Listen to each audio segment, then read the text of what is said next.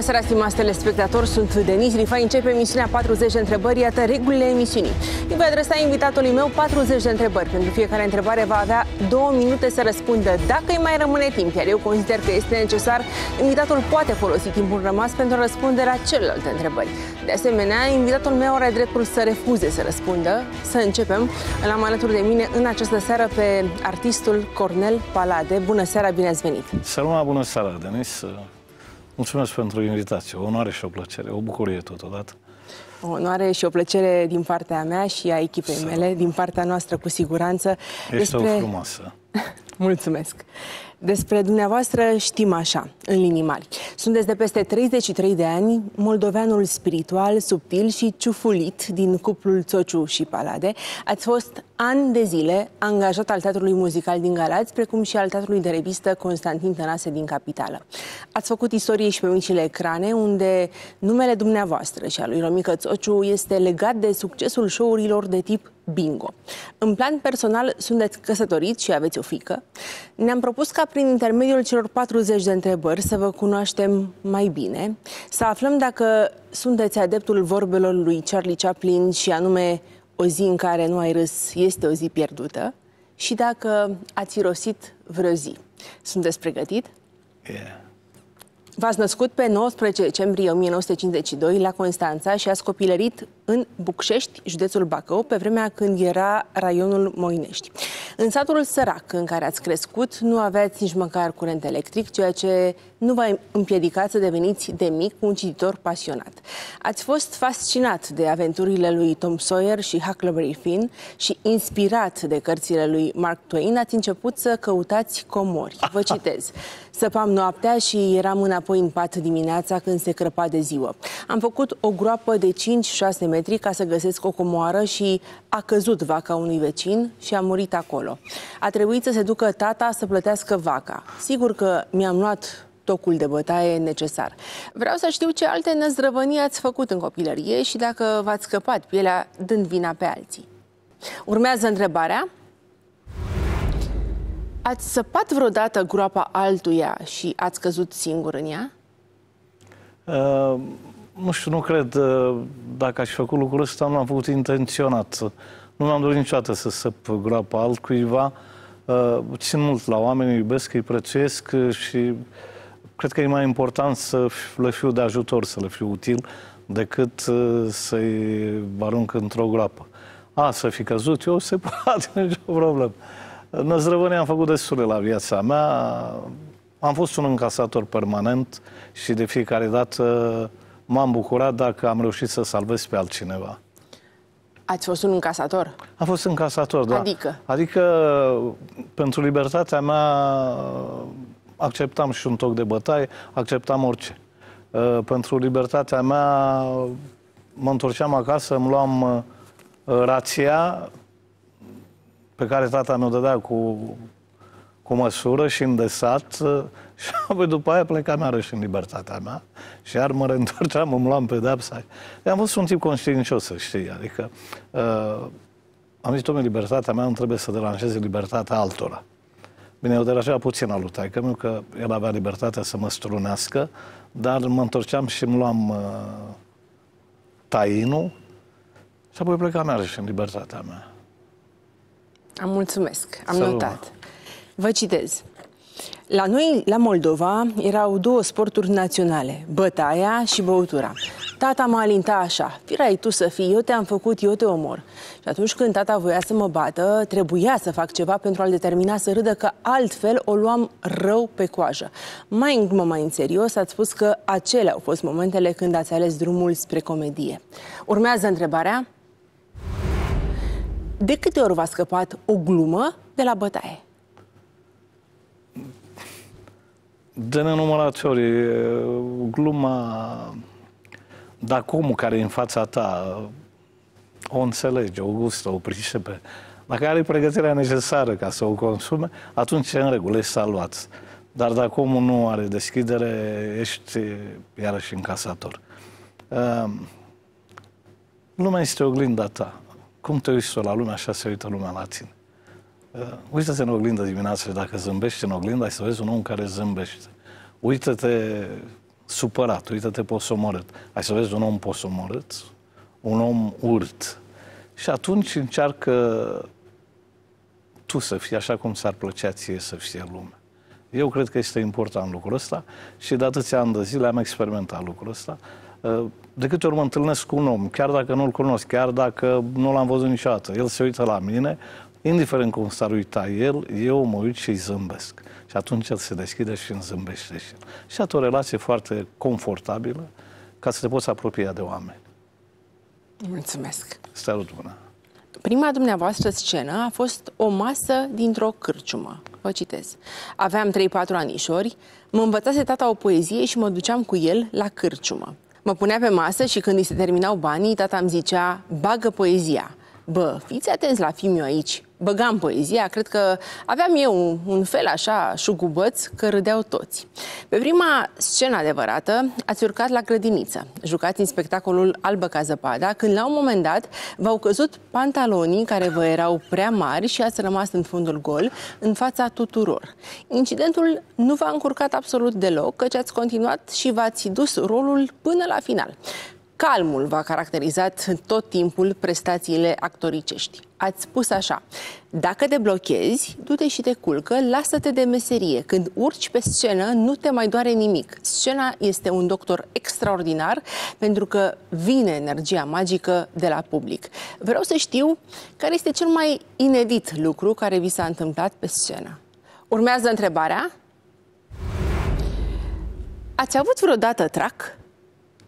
Uh, nu vreodată. De fiecare dată am trac. Uh, nu știu, tracul face parte din, uh, din exercițiul tău artistic. Uh, tracul este emoția care te încarcă. Când îți primești publicul, când primești energia publicului, uh, important e să-l controlezi. Și important e să știi ce ai de spus și să ai de spus ceva. Că tracul vine și poate să te contopească, nu să te cotropească, uh, să nu mai fi bun de nimic. Uh, numai atunci când nu ai nimic de spus. Numai atunci când nu ți-ai învățat rolul. Dar când îți știi rolul și îți cunoști personajul, faci ceea ce trebuie. Iar publicul îți acceptă jocul. Convenția, înțelegerea între tine și el este absolut emoțional. Iar el merge pe jocul tău atât timp cât ești cinstit cu el. În momentul când începi să o fușerești, nu te mai urmărește, se plictisește și încep să vorbească între ei. Și spui, domnule, zice, nu să atenți. Este de aia. V-ați uitat vreodată rolul? Am să spun un lucru. Când am avut un rol, l-am respectat. A uitat rolul, nu cred că uiți rolul. Uiți un text, uiți o replică, uiți o frază. Uh, acum am să spun un lucru. Noi n-am jucat Shakespeare, nu am jucat Caragiale. Acolo lumea știe pe de rost, pe Shakespeare, pe Caragiale. Noi am jucat ce am scris noi, iar lumea n-a știut ce am scris noi și a fost de ajuns ca să fim consecvenți în idee, să respectăm jocul și să improvizăm. Mulțumesc! Continuăm. Ați recunoscut că vi s-a întâmplat uneori, înaintea unui spectacol mai greu, să vă faceți curaj cu un păhărel. Însă după ce ați fost la un pas să vă pierdeți controlul pe scenă, ați renunțat la astfel de stimulente. Vă citez. Înaintașii noștri ne-au învățat că e bine să ai un pic de curaj înainte să intri în scenă și zic să iau o vodcă mică. Dacă iei o vodcă mică, o iei și pe următoarea mică și tot așa. Într-o zi însă eram pe scenă, am dat peste niște microfoane, au căzut alea și mi-am zis că este o falsă impresie că dacă bei, ai curaj. Este o prostie, pentru că nu ai niciun fel de control. Euforia durează puțin, după care urmează prăbușirea. Și de atunci am zis nu. Urmează întrebarea. Cât timp v-ați făcut curaj cu un păhărel? Cred că multă vreme am făcut curaj cu un păhărel și mai fac și acum curaj cu un păhărel, dar nu când urc pe scenă. Uh, nu fac lucrul ăsta pentru că, cum am spus, uh, un păhărel îți dă o euforie, îți dă o stare așa. Uh, exagerez puțin. La un moment dat se termină toată povestea, te prăbușești și nu mai ai control și nu mai e ce, ce, ce trebuie să fie. Până la urmă trăiești într-o minciună, ăsta e adevărul. Uh, și mai bine să să ieși din această relație cu, cu minciuna asta. Trebuie să simți exact ce îți transmite publicul. Energia ta, cu el împreună spectacolul, îl realizezi cu publicul. Tu singur nu faci nimic niciodată. Un spectacol nu există dacă tu joci singur în cameră sau în baie sau nu știu unde. Dacă nu ai un public în față, tu și publicul faci spectacolul. Publicul cu tine face spectacolul. Și important e să guști această hrană fabuloasă, care este energia care ți-o dă publicul. Să o simți, să o trăiești. E mare păcat să te minți în astfel de momente. Trebuie să fii de o sinceritate absolută. Să fii dezvelit, dezbrăcat și să primești tot ce îți oferă publicul cu atâta dragoste, care vine să te vadă pe tine, care în inconștiența ta ai băut 50 de grame de vodcă ca să ai curaj în fața lui. N-ai nevoie de lucrul ăsta. Mulțumesc! Ați vorbit rar despre copilărie, iar la un moment dat ați făcut referire la surorile și frații dumneavoastră, dar nu ați spus câți ați avut și nici nu ați dezvăluit detalii despre ei. Ați povestit, în schimb, cum ați învățat să notați alături de ei. Vă citez. Când eram mici, tata ne-a aruncat în apă spunându-ne ce prindeți, aia mâncați. De obicei nu prea mâncam, pentru că nu prindeam mai nimic. La noi, în apele alea, nu prea creștea pește, dar așa am învățat eu să înnot. Aș vrea să știu mai multe despre frații și surorile dumneavoastră și cât timp ați trăit în sărăcie. Urmează întrebarea. Când a început să aibă balta pește pentru Cornel Palade? E, apropo de sărăcie, nu, n-am fost săraci. Iarăși este o impresie greșită. Natura e generoasă, natura îți dă ceea ce trebuie. Nu trebuie decât să întinzi mâna și să iei, să apuci. Săraci sunt cei care au nevoi multe. Noi nu avem nevoie multe și n-am avut nevoie multe niciodată. Ne mulțumim cu cât avem și mulțumim Dumnezeu care are grijă de noi. Tata, dacă ar fi făcut cum a făcut Domnul Isus, dar el n-a fost Domnul Isus și nici nu o să fie. Dumnezeu să-l ierte. Dacă ne dădea undița, era mai bine, știi? El ne-a dat peștele și a zis, dar nu, ne-a aruncat în baltă și a zis căutați, prindeți. Și asta cred că a fost un fel de undiță, ca să zic așa. Adică dai omului un alta cu care să-și câștige existența. Uh, care era întrebarea? Că uite, m-am Când a început prin... să aibă balta pește pentru Cornel Palade? Mereu a avut balta pește pentru Cornel Palade. Dacă el nu a câștigat, a avut prieteni foarte buni care i-au arătat balta și i-au arătat și peștele din baltă și cărora vreau să le mulțumesc pentru prietenia lor și pentru dragostea lor de a fi aproape de mine, iar eu la rândul meu îi iubesc foarte mult și uh, pentru mine e un cadou dumnezeesc uh, de care mă bucur în fiecare zi de prietenia lor. Mulțumesc! Pe Romică Țociu l-ați întâlnit la sfârșitul anilor 80, când erați angajat la Teatrul Muzical din Galați. Căutați atunci un partener de scenă, iar regizorul de la teatru vi l-a recomandat pe el. L-ați văzut la un festival, l-ați plăcut și i-ați propus să rămâne la Galați. A venit însă Revoluția, iar Romică Țociu nu a mai apucat să se angajeze la Teatrul Muzical alături de dumneavoastră. În 1993 ați participat împreună la un spectacol pe litoral și ați ridicat sala în picioare atunci, Gheorghe Gheorghiu v-a spus că ar trebui totuși să faceți un cuplu umoristic. Invitat aici, la 40 de întrebări. Romică Țociu a răspuns așa la întrebarea cine ar fi fost Romică Țociu fără Cornel Parade. Îl citesc pe Romică Țociu. Undeva, ancestral, întâlnirea mea cu Cornel era deja aranjată. Cred că a fost pusă la cale de Dumnezeu pentru că lucrurile pe care le-am făcut împreună, numai El le putea ticlui așa de bine ca noi doi să fim împreună 32 de ani. Eu cred că am fost făcuți unul pentru celălalt. Pe dumneavoastră vă întreb acum altceva. Urmează întrebarea. Cine ar fi fost Cornel Palade fără Romică Țociu? Uh, Romica a dat un răspuns atât de frumos și cred că răspunsul meu nu se poate ridica la nivelul răspunsului lui. Uh,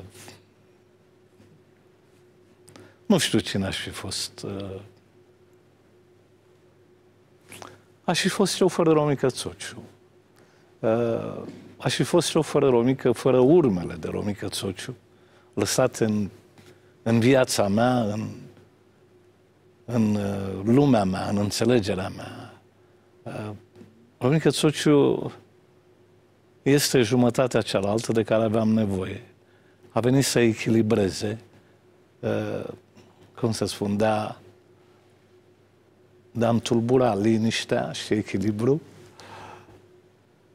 și m-a, de a mă îndrepta spre un uh, trend, să zic eu, ascendent uh, de înțelegere a lumii. Pentru mine, Romica Țociu este crucea mea, pe care o port cu drag și cu bucurie.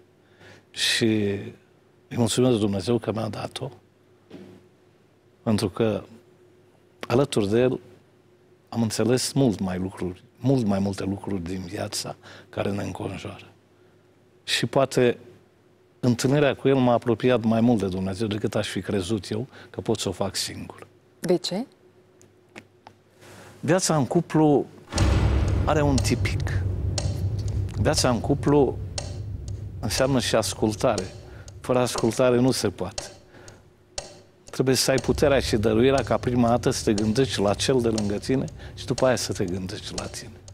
În momentul când ai considerat că cel de lângă tine este mai important decât tine, viața în cuplu este foarte lejeră. Sigur că a trebuit să tragă ani să ajungem la această Vă înțelegere. dau timp?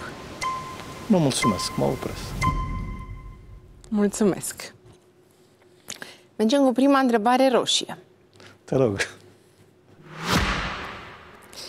Împreună cu Romică Țociu, formați unul dintre cuplurile de aur ale Teatrului de Revistă din România, alături de Nae Lăzărescu, Vasile Muraru și Alexandru Arșinel, Stella Popescu. Ziariștii au fost dintotdeauna curioși să afle cum se împart atribuțiile în echipa dumneavoastră și cine este creierul spectacolelor. Vă citez.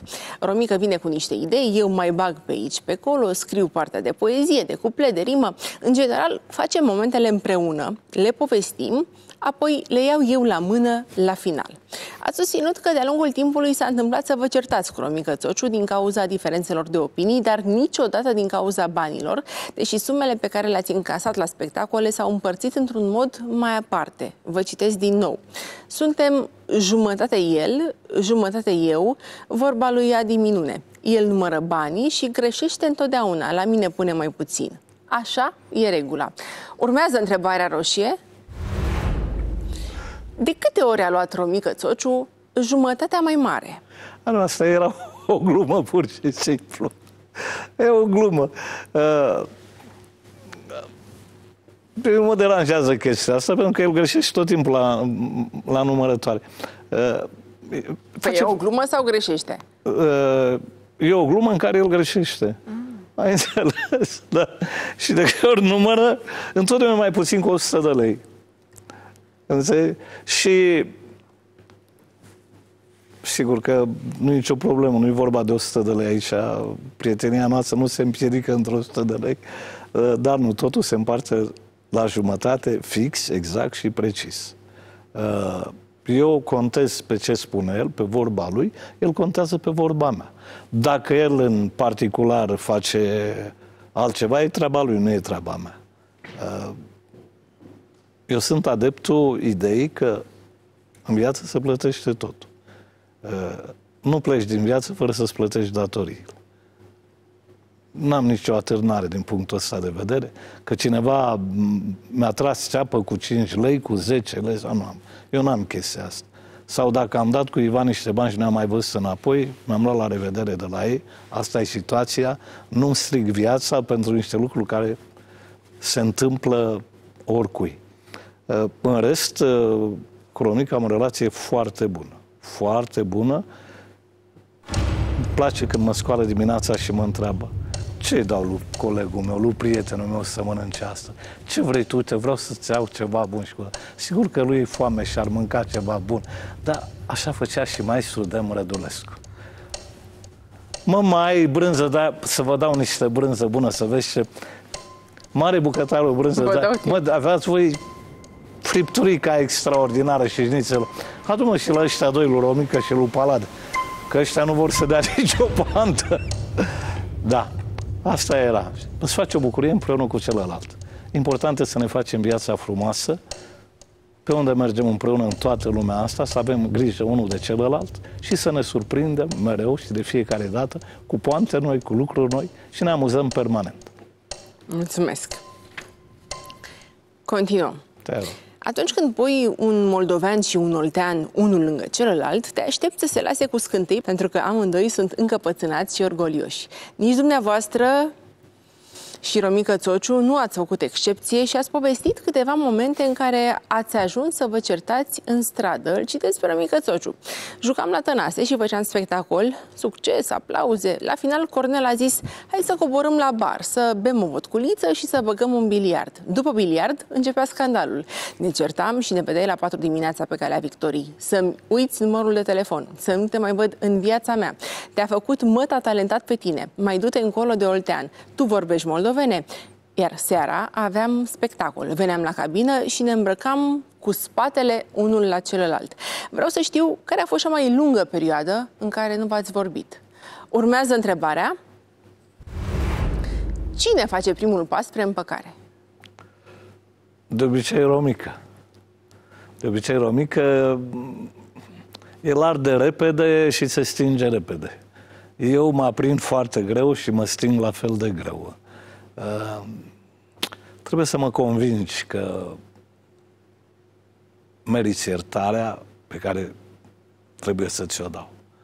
Ehm, trebuie să-mi treacă, trebuie să se vindece puțin. Ehm, am spus că mă supăr foarte greu, dar când mă supăr îmi trece greu. Dar trebuie lăsate copilărie la o parte. Oamenii se mai ceartă, așa sunt ei. Dacă tragi linie și viața ta împreună cu celălalt e pe plus, mergeți mai departe. N-are rost să o strici pentru o ceartă. Sigur, a fost uh, momente ale tinereții, poate multă inconștiență, poate nerăbdare, poate uh, celălalt credea că este mai important uh, decât celălalt și așa mai departe. Uh, și atunci am ajuns la această înțelegere pe care am spus-o mai devreme. Trebuie să respecti pe celălalt prima dată și apoi pe tine. El este mai important. În momentul când, chiar și în căznicie, și în familie, și cu soția, dacă îi pui rolul ei în fața ta, lucrurile sunt rezolvate. Altfel, dacă vrei tu să fii primul, nu se poate. Care a fost cea mai lungă perioadă în care nu v-ați vorbit? Nu știu, poate o oră, poate două, poate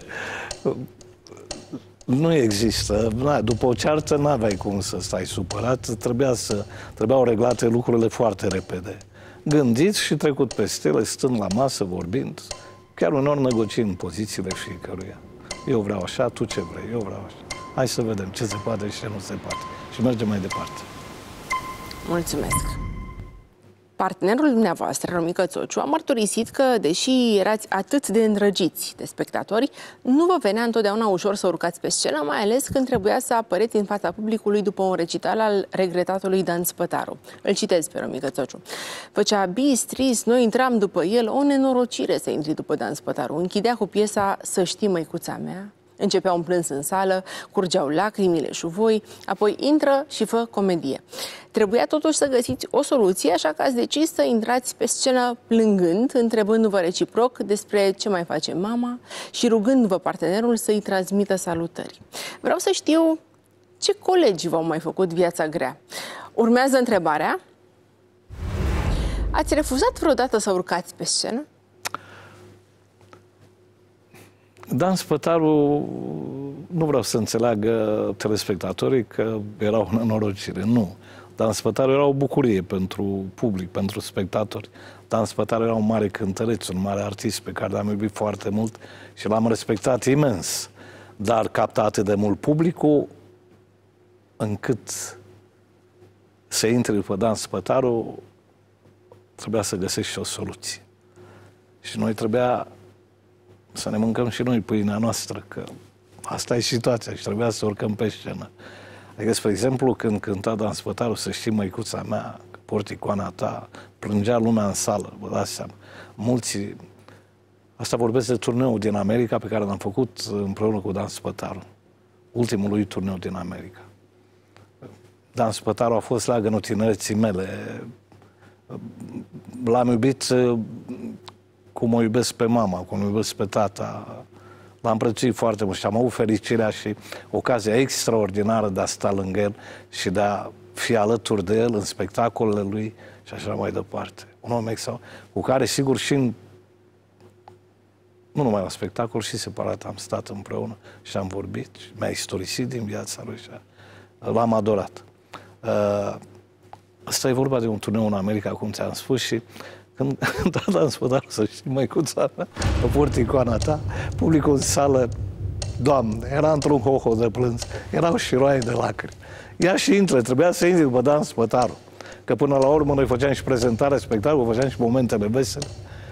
Și atunci pleca cu bis în sfârșit. Și intram în scenă și intram plângând amândoi. Și spuneam lui Romică... Mă dau timp. Să-i spui lui măta că am iubit-o. Și era pe jos. și începea, și de aici începea totul, da. Cam asta a fost. Au fost și alți artiști după care da. era greu să intrați pe scenă? Ah, da. Florin Piersic. N-aveai cum. N-aveai cum. Când cam la sala Palatului, toți ne pasau. Nu, nu, nu, nu, nu. Nu după Palat Să intre la urmă ăștia. Să stai cât Vă dau acolo. timp. Uh, nu, fără. Noi primi acum. Doamna Sela, domnul Arșinel, oricare ar fi fost, nu, nu după Palade și Țociun. Și ne lăsau la urmă. Intram la sala Palatului uh, la miezul nopții sau la 1 noaptea, pentru că era, frate, un cearșaf de artiști puși pe afiș. Trebuia fiecare să-și facă număr. Ei, îți dai seama că intram în sală, în scenă, ea să te iau așa, ea și scoală la una noaptea și trezește. Greu, dar îi ridicam, îi sculam. Mi-aduc aminte Vă mai dau timp? că odată tata mi-a zis, băi, sunteți oameni mari, apucați-vă și voi de o meserie serioasă. Duceți-vă la fabrică, lucrați și voi între schimburi ca toată lumea. Bine, n-am zis nimic. Și într-o zi mi la un spectacol la sala Palatului. Domne, vine tata după spectacol, se uită la noi, noi ne îmbrăcam cu hainele civile, nu alea de scenă și zice, bă, sunteți dați dracu amândoi. Asta înțeleg. Mulțumesc. Mergem cu o întrebare roșie. Întrebat cum ați câștigat primii bani, ați răspuns așa. Prin muncă. Am muncit o jumătate de oră ca să îl întorc pe tata care dormea de pe buzunarul în care ținea banii. Umorul nu v-a lipsit niciodată, însă banii da, iar lipsa lor v-a adus uneori în situații mai delicate. Vă citez. Am fost arestat, aveam 15 ani, luasem amendă de la CFR că nu îmi cumpărasem bilet. Viața noastră nu a fost ușoară și ați povestit cum v-ați îndulcit existența cu câte o glumă. Urmează o întrebare roșie.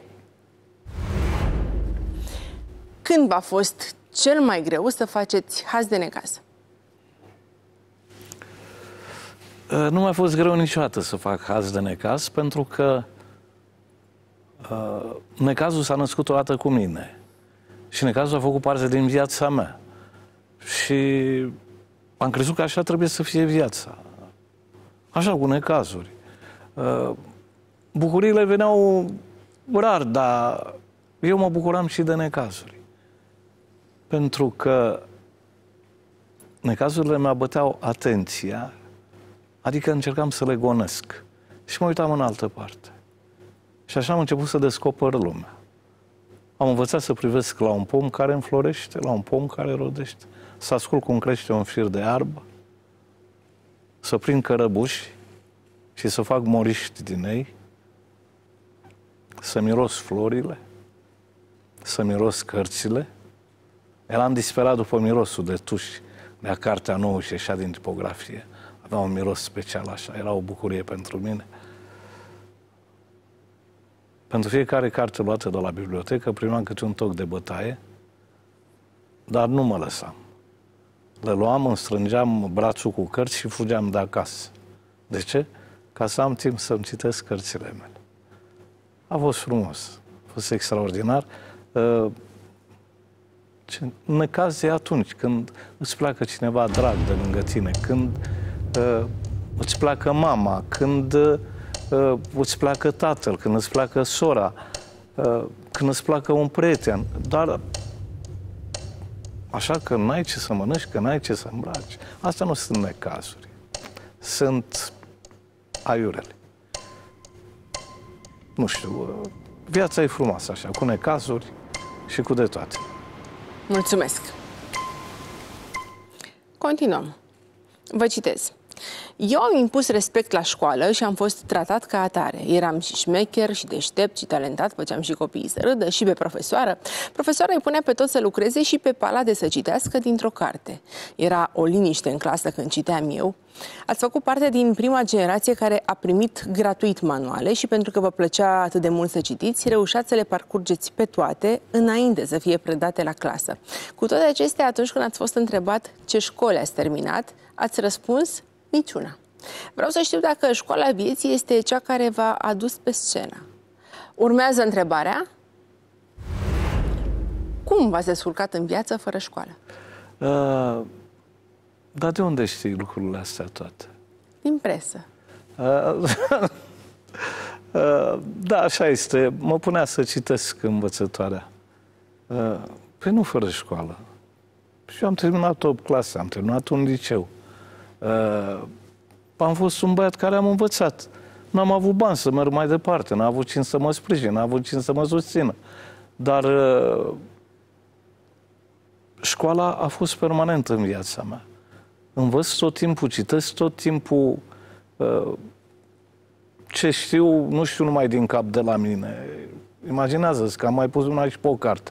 Și am și niște cărți în bibliotecă, dacă vrei te invit să le vezi. Și am lucruri chiar interesante. Uh, lucruri pe care sunt convins că foarte multă lume nu le citește sau nu-i interesează. Uh, am fost autodidact. Mi-a plăcut să mă pregătesc. Uh, am avut viața grea, n-am avut viață ușoară, nu m-a ajutat nimeni. Am pierdut și casă, am pierdut multe lucruri din cauza asta. Părinții mei n-au avut, au fost săraci și n-au avut de unde să ne dea și atunci ne-am descurcat fiecare cum am putut. Dar la vârsta pe care o am și dacă am ajuns aici și sunt unde sunt, înseamnă că m-am descurcat. E o poză interesantă cu, cu Anthony Hopkins pe malul oceanului.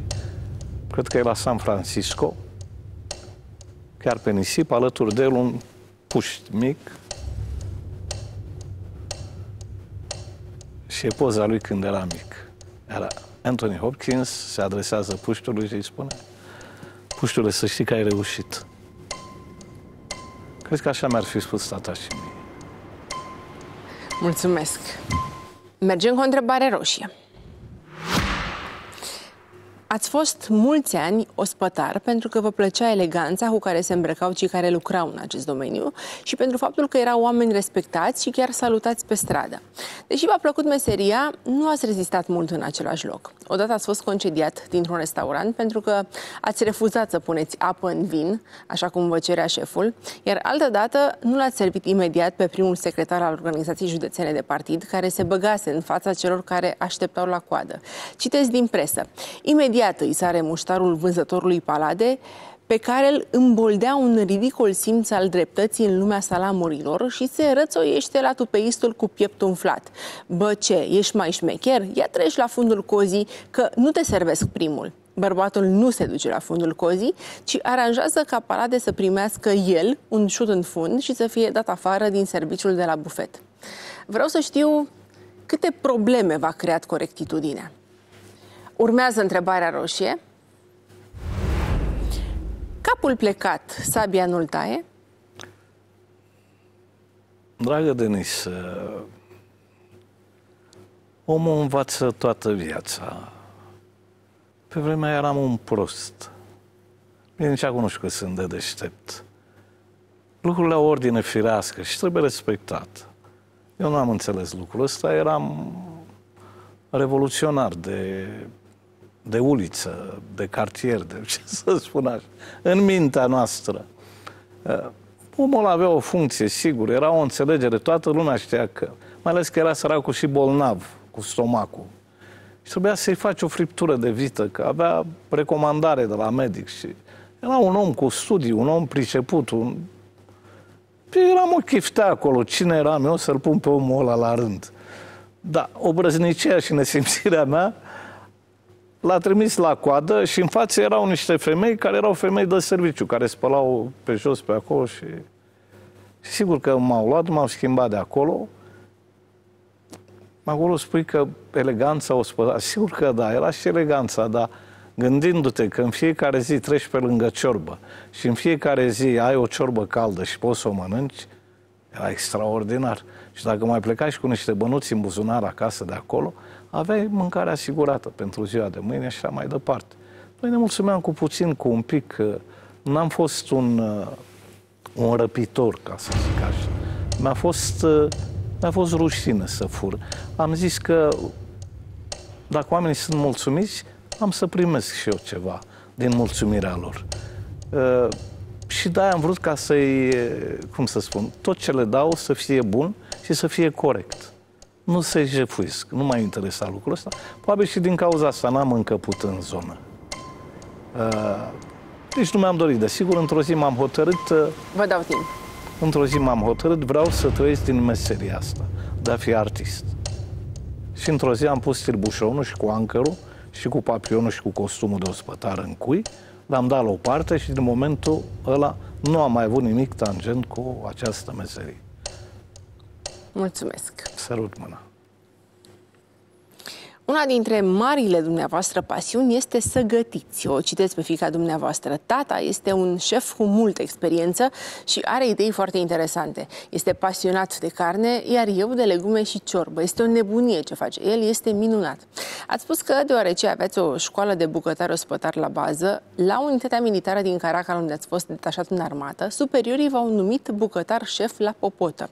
Numai că soldații v-au reproșat de multe ori că nu puneați suficientă carne în mâncare, deși dumneavoastră susțineați că foloseați carnea de la patru vaci la o masă.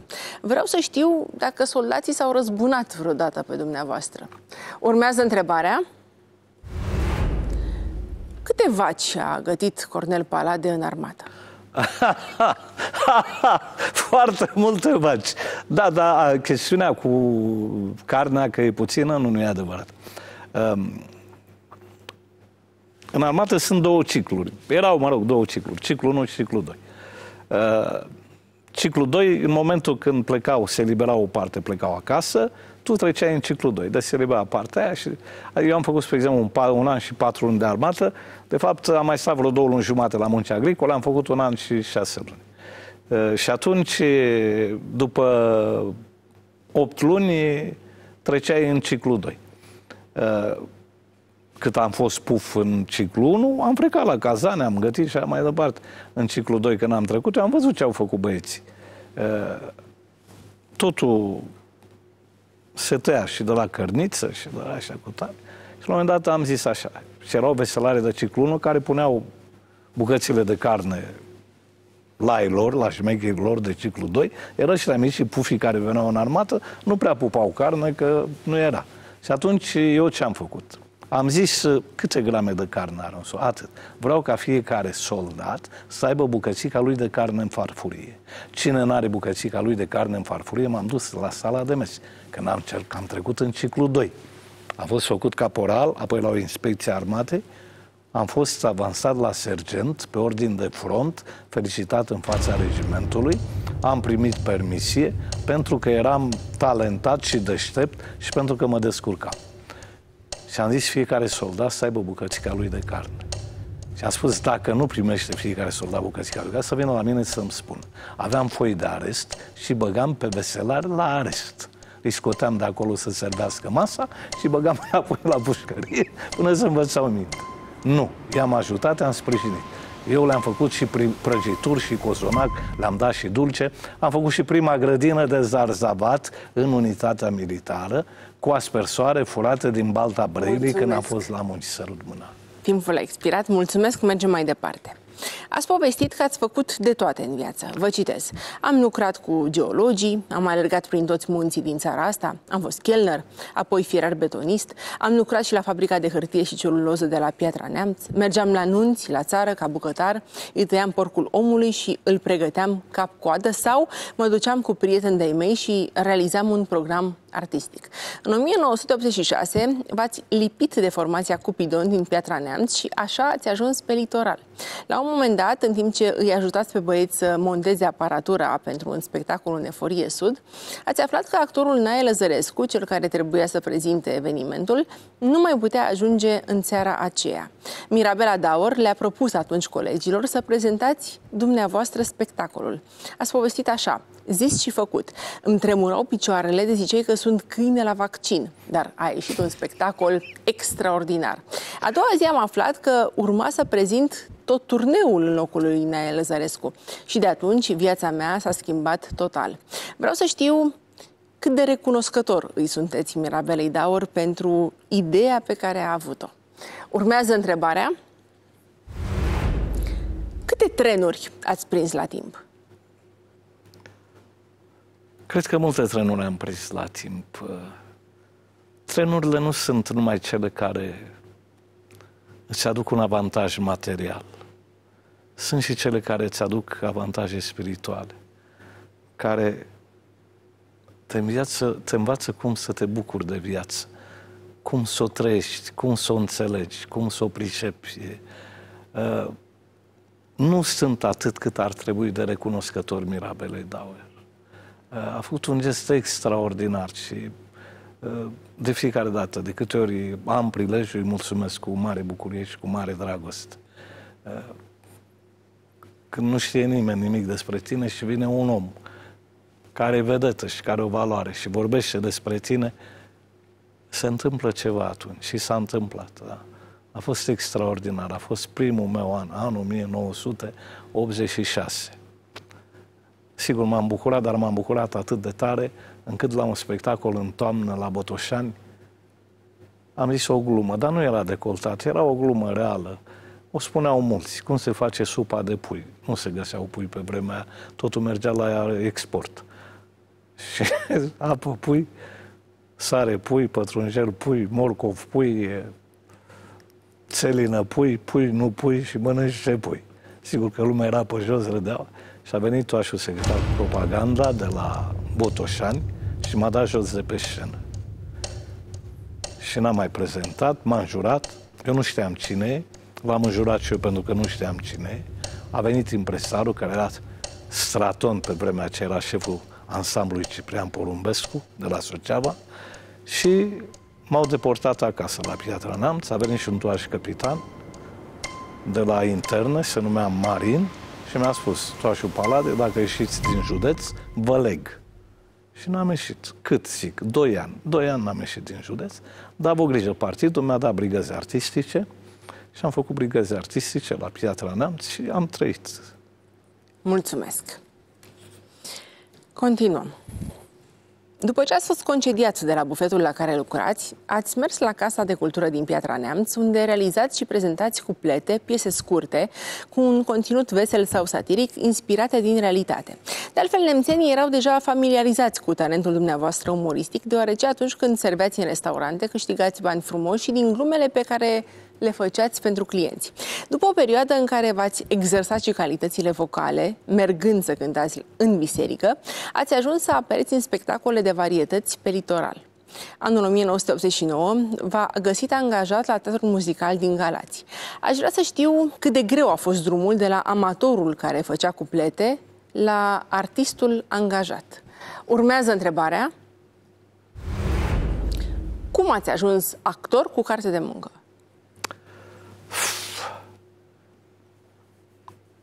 Sigur, am făcut nenumărate activități. Am fost și activist extrabugetar la Clubul Tineretului din Piatra Neamț. Uh, un rol, uh, ca să zic, uh, chiar hotărător și important în viața mea. Uh, a avut un prieten și îl are în continuare, pe care îl respect foarte mult. Se numește Ghiță Hibovski. Un om care mi-a mi-a îndreptat pașii, mi-a canalizat pașii, mi-a umblat la minte, mi-a umblat la educație, mi-a umblat la foarte multe lucruri. Uh, și am învățat multe lucruri de la el. Și poate jumătate din ce știu îi datorez lui. Uh, și îmi dă un telefon, mă sună și îmi spune Cornel, vino repede. Era metodist la Casa de Cultură. Și vino repede că e ceva pentru tine. Și zic, nu vin că am treaba acum. Vino că e de viață și de moarte. Când am auzit așa, zic, bine am venit. Ei, și era teatru muzical din Galați, era în turneu la Piatra Neamț, tocmai plecase Dor Octavian Dumitru de la ei și a rămas o gaură acolo și a zis, căuta un om. Și în sfârșit, prietenul meu Ghiță l-a spus despre mine și a zis, cheamă, domnule, băiatul să vedem. Am făcut eu o mică comisie acolo. Doamne, când mă gândesc, nu mai trăiește niciunul din cei care erau în comisie acolo. Nici Teddy Munteanu, nici Sandu Jula, nici Ionel Miron, nici Gigi Panaitopol. Doamne Dumnezeule, cum au trecut ani ăștia. Și m-am stat de vorbă, m-au văzut, m-au pus să zic câteva bancuri, câteva povestitoare, era plăcut uh, și mi-a spus, bine, te prezinți, vii la teatru să dai concurs. Zic, cu cine să pregătesc? M-am pregătit cu nevastă mea, care îmi dădea replica și m-am prezentat cu nevastă mea la concurs. Le-a plăcut, la final mi-au zis, doamna a luat, dumneavoastră n-ați luat. Mulțumesc! Mergem mai departe. Te rog. În 1998, împreună cu Romică Țociu, erați angajați la Teatrul Constantin Tănase din București, când ați acceptat să prezentați Tele Eurobingo Show, o emisiune de televiziune foarte populară la vremea aceea. Regretatul Alexandru Arșinel, directorul de atunci al teatrului, v-a reproșat că nu jucați duminica în spectacolele de revistă din cauza emisiunilor în direct. Dumneavoastră ați spus așa, am înțeles situația și am propus să jucăm la matine. Nu s-a dorit asta, Așa am ajuns să ne despărțim. Circa 20 de ani mai târziu, în 2021, Romică Țociu spunea că teatrul este un capitol încheiat, deși vă doreați amândoi să reveniți pe acea scenă. Îl citez. Dragoste cu Sira nu se poate. Știu că amândoi, și eu și Cornel, ne-am dorit să mai facem un spectacol acolo, dar, deși au existat și ceva discuții pe tema aceasta, s-a dovedit până la urmă că există o discrepanță între ce vrem noi și ce se vrea de la noi. În presă, anul acesta au apărut însă informații că ați discutat cu actualul director, Vasile Muraru, și că este posibil să vă întoarceți la teatrul de revistă Constantin Tănase. Urmează întrebarea. Când veți semna din nou condica la Teatrul Constantin Tănase? Suntem într-o fază de cercetare, ca să zic așa.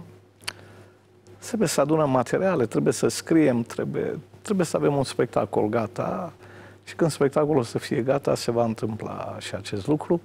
Uh, dar suntem atât de prinși cu o grămadă de angajamente încolo, încoace și în partea cealaltă. Lumea atât de bucuroasă să ne întâlnească, să ne vadă, uh, că nici nu știu cum să ne împărțim, nu știu cum să facem lucrul ăsta, nici nu ne mai este atât de ușor, adică cel puțin mie, avem și o vârstă și nu mai putem să alergăm la maraton. Uh, uh, o lăsăm mai ușor, mai moale. Zicem să ne mai bucurăm și de noi, să ne bucurăm și de viață. Dar se va întâmpla. Mai ales că am vorbit cu domnul Vasile Moraru și uh, e conțelan de-al meu de la Piatra Neamț. E un tip special, e un, e un om foarte mișto, Vasile.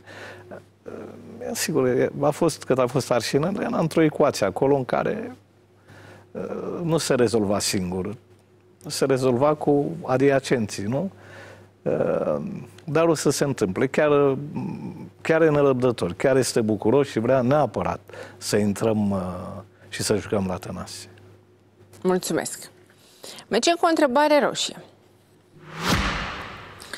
emisiunile bingo pe care le-ați prezentat împreună cu Romică Țociu erau show-uri tip tombolă, în care îmbinați umorul cu premii substanțiale.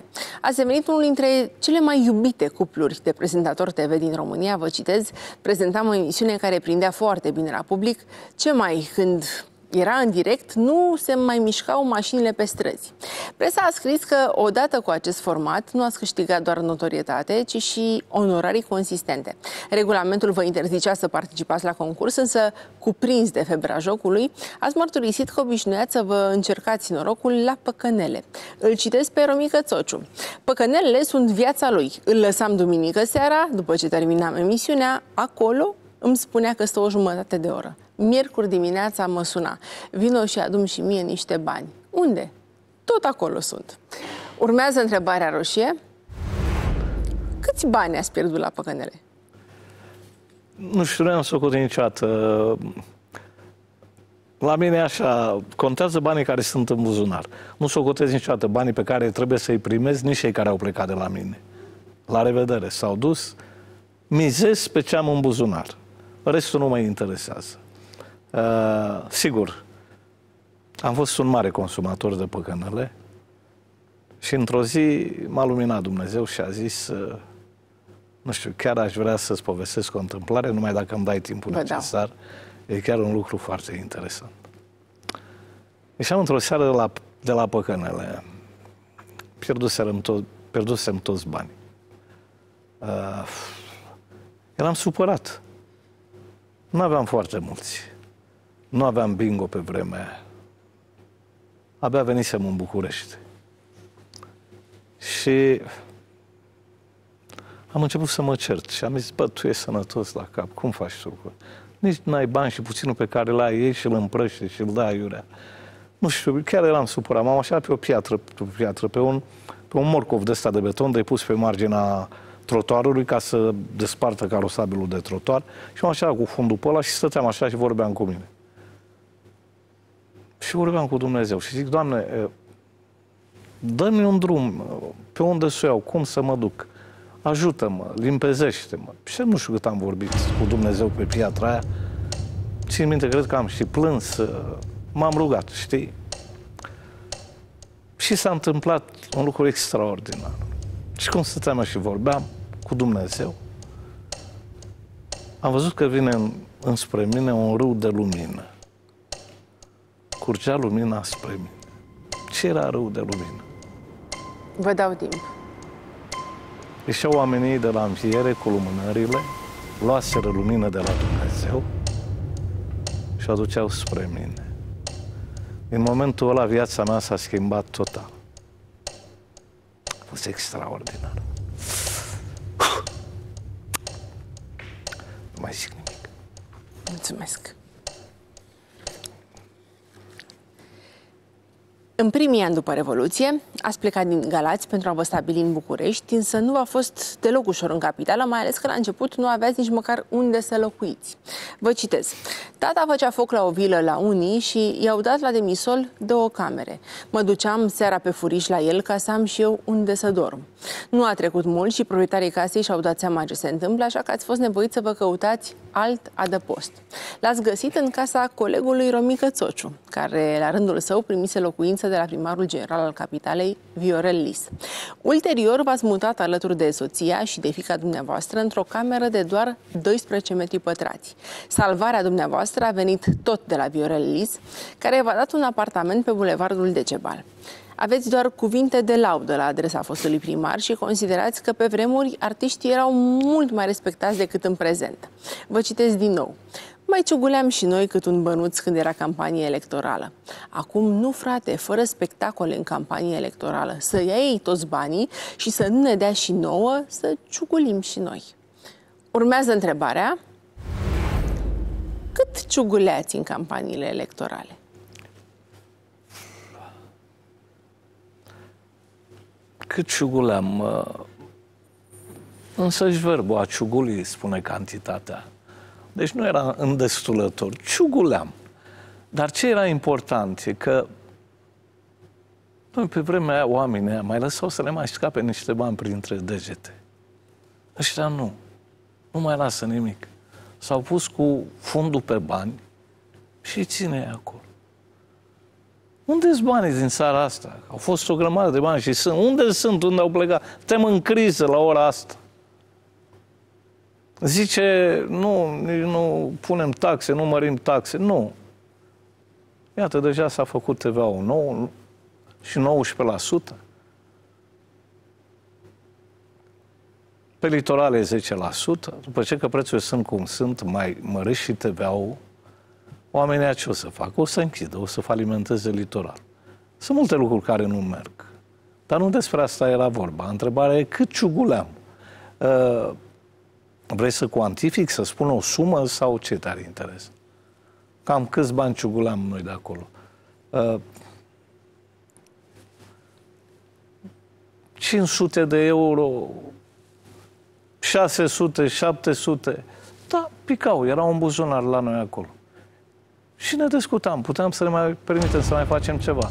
Iar bingo, păi, la bingo ne-am îmbogățit de la bingo. Noi am fost sărași, eu și Romica, n-am avut nimic, nici părinții noștri n-au avut. A trebuit să ne le facem pe toate.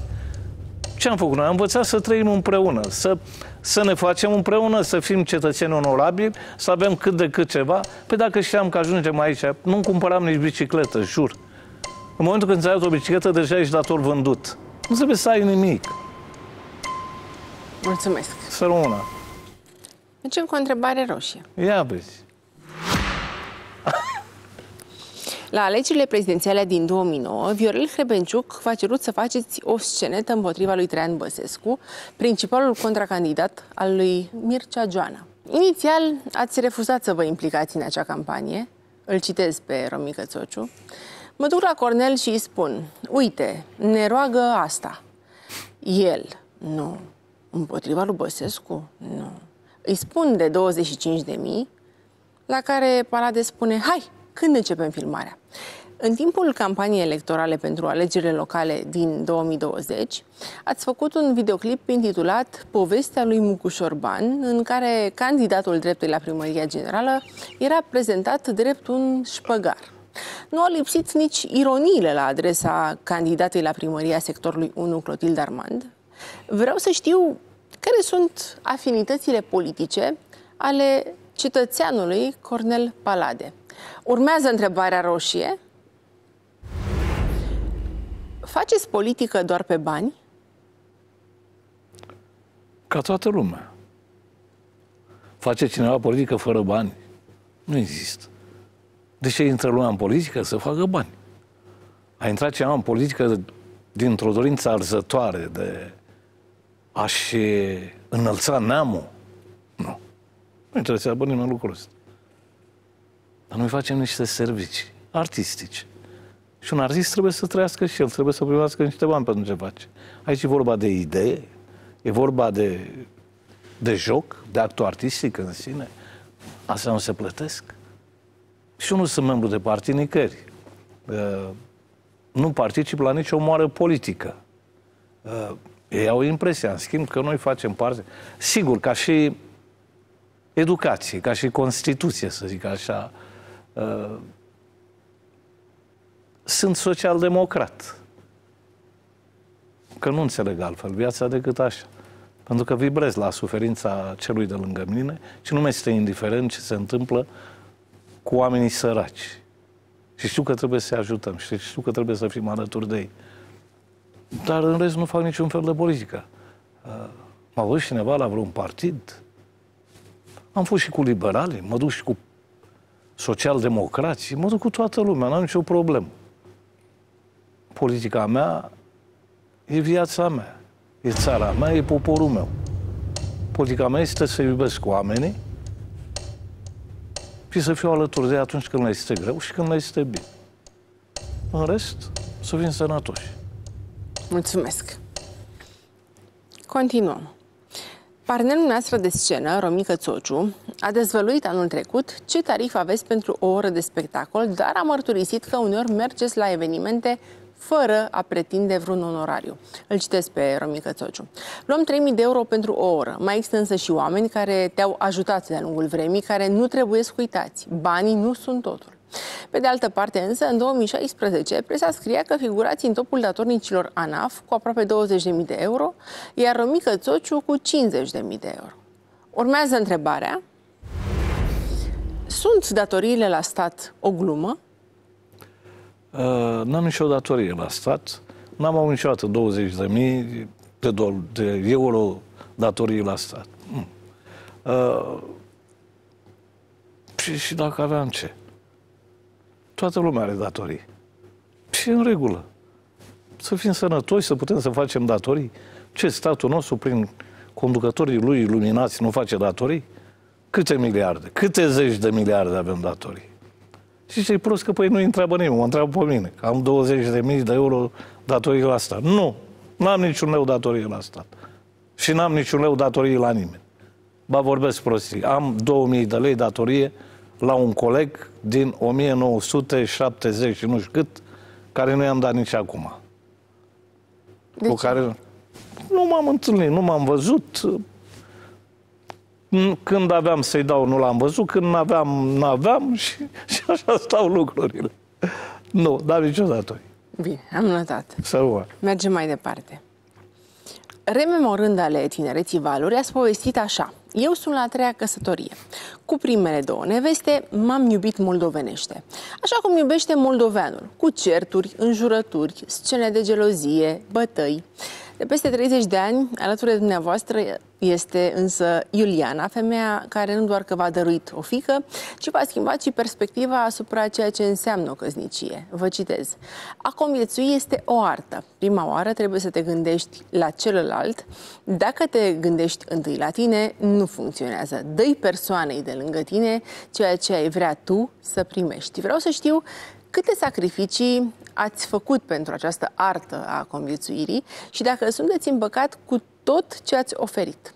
Urmează întrebarea. L-a potolit soția pe moldoveanul din Palade? Uh, nici nu știu cum să încep, pentru că uh, dă cezarului ce al cezarului. Sigur că a avut, uh, a avut un rol uh, important, un rol hotărător, ca să zic așa, în comportamentul meu. Dar uh, viața te maturizează. Începi să înveți lucrurile. Uh, deci, de exemplu, mie îmi place foarte mult confortul. Vreau să fiu confortabil. Îmi plac lucrurile limpezi. Nu plac lucrurile amestecate. Pe exemplu, nu-mi place minciuna. Este cumplit să minți. Pentru că s-ar putea să nu ții minte ce ai mințit. De fiecare dată să minți altfel. Și în cazul ăsta ești neserios. Mai bine nu minți. Sigur că sunt lucruri pe care nu poți să le spui. Evită-le sau nu le spune. Și în viață nu se spune orice. Sunt lucruri care nu trebuie să le spui niciodată. Pentru că nu te ajută la nimic. Sigur că e important să fii sincer. Avem nevoie de sinceritate. Fără sinceritate nu funcționăm. Trăim într-o lume paralelă, trăim într-o lume aiurea. Uh, Ce lucru nu trebuie să spui niciodată? Uite, nu trebuie să-i spui omului ce nu-i place lui să audă. Ce nu vrea el să audă. Spune în general ce vrea el să știe. Dacă ai un punct de vedere, încearcă să-l îmbraci cu ce vrea el să audă, cu ce i-ar plăcea lui și plasează-l așa frumos ca el să se simtă bine.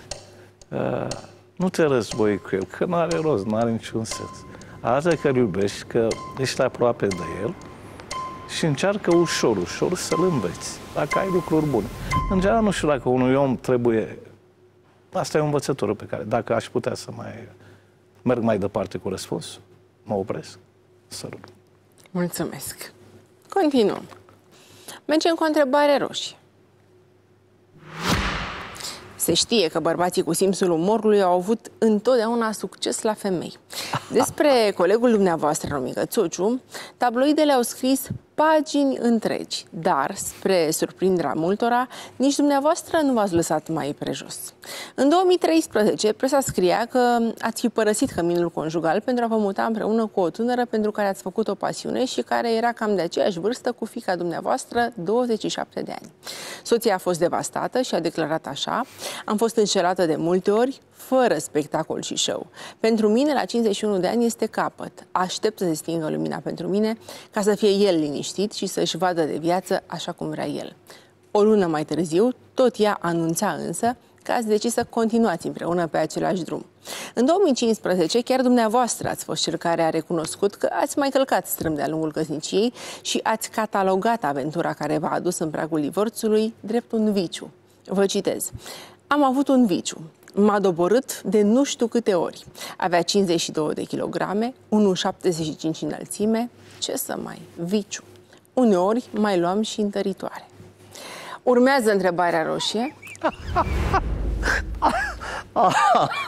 V-ați lepădat de vicii? Nu. Viața este o sumă de vicii. Și e bine să le păstrăm. Important e să conștientizezi că sunt vicii și să nu ți se pară că sunt calități.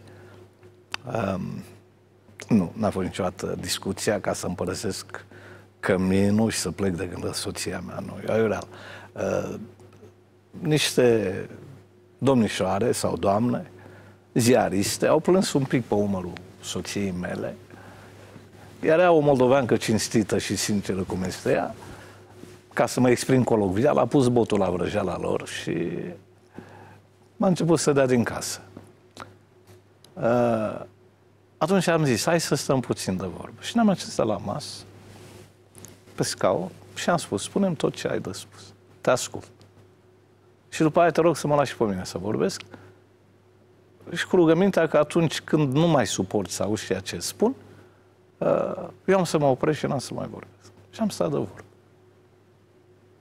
A vorbit ea, după aia am vorbit eu, ea mi-a zis stop. A doua zi dimineața a venit și mi-a spus și am avut trei zile foarte proaste și ai avut dreptate, am avut consilieri proști. Punct. Iar viața noastră a mers mai departe. Uh, familia mea pentru mine este întotdeauna pe primul loc. Restul sunt la și alții. Uh, că am avut o aventură cu cineva, asta nu înseamnă că mi-am trădat familia, nu. Poate mi-am trădat jurămintele, dar nu familie. Jurămintele se mai schimbă. Așa e în dragoste. Știi? Mulțumesc. Să rămână. Continuăm. Presa a scris că sunteți pasionat de mașini și motoare, iar dumneavoastră ați mărturisit că dețineți două ATV-uri în garajul cabanei de la munte. În București ați făcut senzație cu trike-ul dumneavoastră, cu care paparații v-au surprins mergând chiar și la cumpărături. Despre vehiculul pe trei roți, cumpărat în 2011, cu care atrageți toate privirile în trafic, ați spus că este un model unicat în România și că l-ați achiziționat de pe un site de licitații, chiar de la primul proprietar, o femeie din Statele Unite ale Americii. Urmează întrebarea. Aveți succes la femei pe trei roți? Am să încep cu un exemplu. Am un prieten drag care într-o zi s-a supărat cu prietena lui. Și a plecat. Și m-a sunat și mi-a zis uh, Mă, n-ai o prietenă care... Fă cunoștință cu cineva. Că așa se face între oamenii serioși. Și am zis, bă, nu știu, să mă gândesc. Am mai sunat și pe altcineva. Și i-a spus, mă, știi de ce nu avem noi gagici? De ce? Pentru că am fost învățați să vină ele la noi. Dar veneau când eram tineri. Acum avem o, o vârstă. Suntem niște moși. Uită! Nu mai vine nimeni la tine niciodată. Ce succes? Care succes? O femeie se uită la tine, vede că ai o vârstă. Ce femeie stă cu tine care vrea să aibă o aventură de o zi? Alea sunt altă categorie. Alea au un preț, au un tarif. Nu. Nu. E complicat, e greu. De la o vârstă încolo, nu mai e așa. Cine e stare să facă? Hai să fim serioși. Ce, eu sunt ghiote după elegia de la Marienbad? Să mă îndrăgostesc de o puștoaică, de o contesă de 16 ani și să... Nu. Sunt Cornel Palade, un simplu muritor din România și mă simt foarte bine în pielea mea. Și am o stare extraordinară. Mulțumesc. Să rămână. Continuăm. Te rog. Cea mai mare parte din cariera dumneavoastră s-a desfășurat pe scenă, însă nu sunteți străini nici de platourile de filmare. Ați jucat în filme precum Poveste de cartier, O secundă de viață și Marilena, precum și în seriale TV ca Pitiș de vară, Meseria și Cu inima îndoită sau Taxi Don Titi. În 2009, în drama Marilena, regizată de Mircea Daniliuc, ați atras atenția nu numai cu rolul negativ în care ați fost distribuit, dar și cu singura scenă de sex din cariera dumneavoastră. Pentru publicul care vă asociază cu momente umoristice, a fost surprinzător să vă vadă în impostaza unui șef de fabrică care agresează sexual o angajată. Vreau să știu câte glume ați făcut pe platourile de filmare. Urmează întrebarea. Cum e să fii personajul rău din poveste? Și e bine. E bine, un personaj rău este mai memorabil, ca să zic așa, decât unul pozitiv. Uh, important e să convingi, important e să fii ceea ce trebuie acolo. Important e să-ți dai măsura, maestria, priceperea și să-ți duci la îndeplinire rolul. Să vrei ce vrea regizorul de la tine. Regizorul nu spune niciodată, fa asta, fa El zice, mai pune puțin, mai ia puțin, e prea mult, e prea gros, mai subțiază, mai cu tare. Iar tu trebuie să faci lucrul ăla. Uh, este greu. Este foarte greu. Sunt uh, momente care te solicită și trebuie să le îndeplinești. În rest, satisfacție maximă. Te vede lumea, te știe lumea, a văzut filmul, te felicită. Are lumea subiect de discuții, se întâlnesc cu oamenii cu tine, te opresc, că spun, mai să v-am văzut în film cu tare, foarte tare, foarte cu aia. Cum a fost aia? Iată, ai subiect de discuții. Ce mare lucru este să ai subiect de discuții cu cineva cu care te întâlnești. Și ce bine când se întâlnesc doi oameni și nu-și vorbesc, se uită unul altul și aș vrea să spună ceva și n-au ce să spună, este o dramă. Dar tu ai atâtea subiecte, te-a văzut lumea peste tot, faci parte din familia lor. Ești în casa lor de atâta vreme, de zeci de ani. Și el se uită la tine și zice că ești tasul, că ești măsa, că ești fratesul, că ești nu știu cine. Se bucură. Iar ție ți este foarte greu ca să, uh, cum să spun, ca să joci rolul ăsta, uh, de a face parte din familia lui. Pentru că tu nu l-ai văzut până atunci, nu te-ai întâlnit cu el. Și totuși trebuie să fii familiar. Mulțumesc! Continuăm. Pentru ca un spectacol să fie reușit, spuneți că este esențial să funcționați ca un cuplu cu Romică Țociu. Vă citez, în doi altfel. Nu prins tu o zi bună, dar o are celălalt și invers. Mult timp, cuplurile de umor umpleau sălile de spectacol, mergeau în turneu în țară și în străinătate și erau vedetele programelor de revelion. Acum sunt în vogă actorii de stand-up, recunoscuți pentru limbajul necenzurat. Dar nici dumneavoastră și Romică Țociu nu ați fost foarte duși la biserică. La un moment dat, presa a scris chiar că ați fost la un pas de a fi linșați pe scenă. Citesc dintr-un articol. După o serie de glume cu aluzii sexuale și înjurături, celebrii comici Rămică Țociu și Cornel Palade au fost huiduiți și răsplătiți cu peturi aruncate pe scenă. Asta pentru că s-au întrecut în înjurături triviale. Urmează întrebarea. De câte ori ați fost înjurat pentru vulgaritate? Uh Aș vrea să spun că mi-aș fi dorit să se întâmple ceea ce au scris în presă acolo, că am fost, s-au aruncat peturi. Chiar m-ar fi fost interesant. Uh, dar cred că au fost la un alt spectacol, nu la al nostru. Am mai primit uh, articole de-astea. Uh, cu un spectacol la Tănase, de unde noi plecaserăm de vreo 10 ani, nu jucaserăm. Și cineva a scris un articol, sigur că am judecat, sigur că am câștigat procesul. Uh, sigur că au vrut să sacrifice un student sărac cu care scria și el de foame, că n-avea ce să facă. Sigur că nu i-am cerut niciun ban, că era necăjit săracul. Se fac măgării de genul ăsta mereu, uh, dar nu mă deranjează. Uh, cum se numesc copiii ăștia? Mă rog, să nu vorbesc, că vorbesc prea roșii Uh, nu știu, nu fac rău, dar trebuie să mănânce și eu o bucată de pâine și este în regulă. Niciodată nu am primit niciun pet, niciodată nu am fost apostrofat pentru înjurături, n-am înjurat niciodată pe scenă, niciodată, pe nimeni din public, chiar dacă a fost ceva, la noi umorul este aluziv și nu este direct. Sigur că vorbim de lucruri mai decoltate, dar niciodată direct. Uh, nu ca la stand-up, uh, niciodată n-am întrebat-o pe mama din primul rând dacă fica ei are obiceiuri, cum să spun, foarte intime. Uh, n-am făcut lucrurile astea niciodată. Am spus, atâta este aluziv. Iar tot ce discutăm, discutăm la adresa noastră. Eu m-am mus pe seama lui Romică și Romică pe seama mea. Mulțumesc. Să rămână. Mergem cu o întrebare roșie. Aia a fost galbenă, care a spus-o Adinaua. În ultimii ani, Râmică Țociu a participat singur la mai multe proiecte de televiziune, în timp ce despre dumneavoastră se spunea fie că ați fost bolnav, fie că nu vă mai înțelegeți cu partenerul de scenă. Dumneavoastră ați făcut următoarea declarație. Vă citez. Cred că cineva a dorit o schimbare și ușor, ușor am dispărut. Dacă s-a crezut că este o rețetă mai viabilă cea în care Palade nu mai apare, am făcut un pas în spate. Dar personal, nu cred că a fost o alegere bună. Urmează întrebarea roșie. V-ați simțit vreodată abandonat?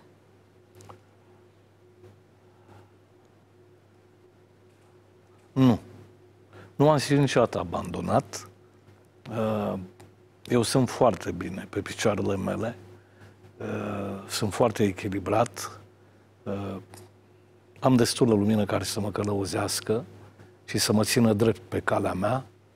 Sunt un om iubit de soartă și lumea mă respectă. Am tot ce trebuie ca să fiu eu. Uh, nu condiția materială este importantă.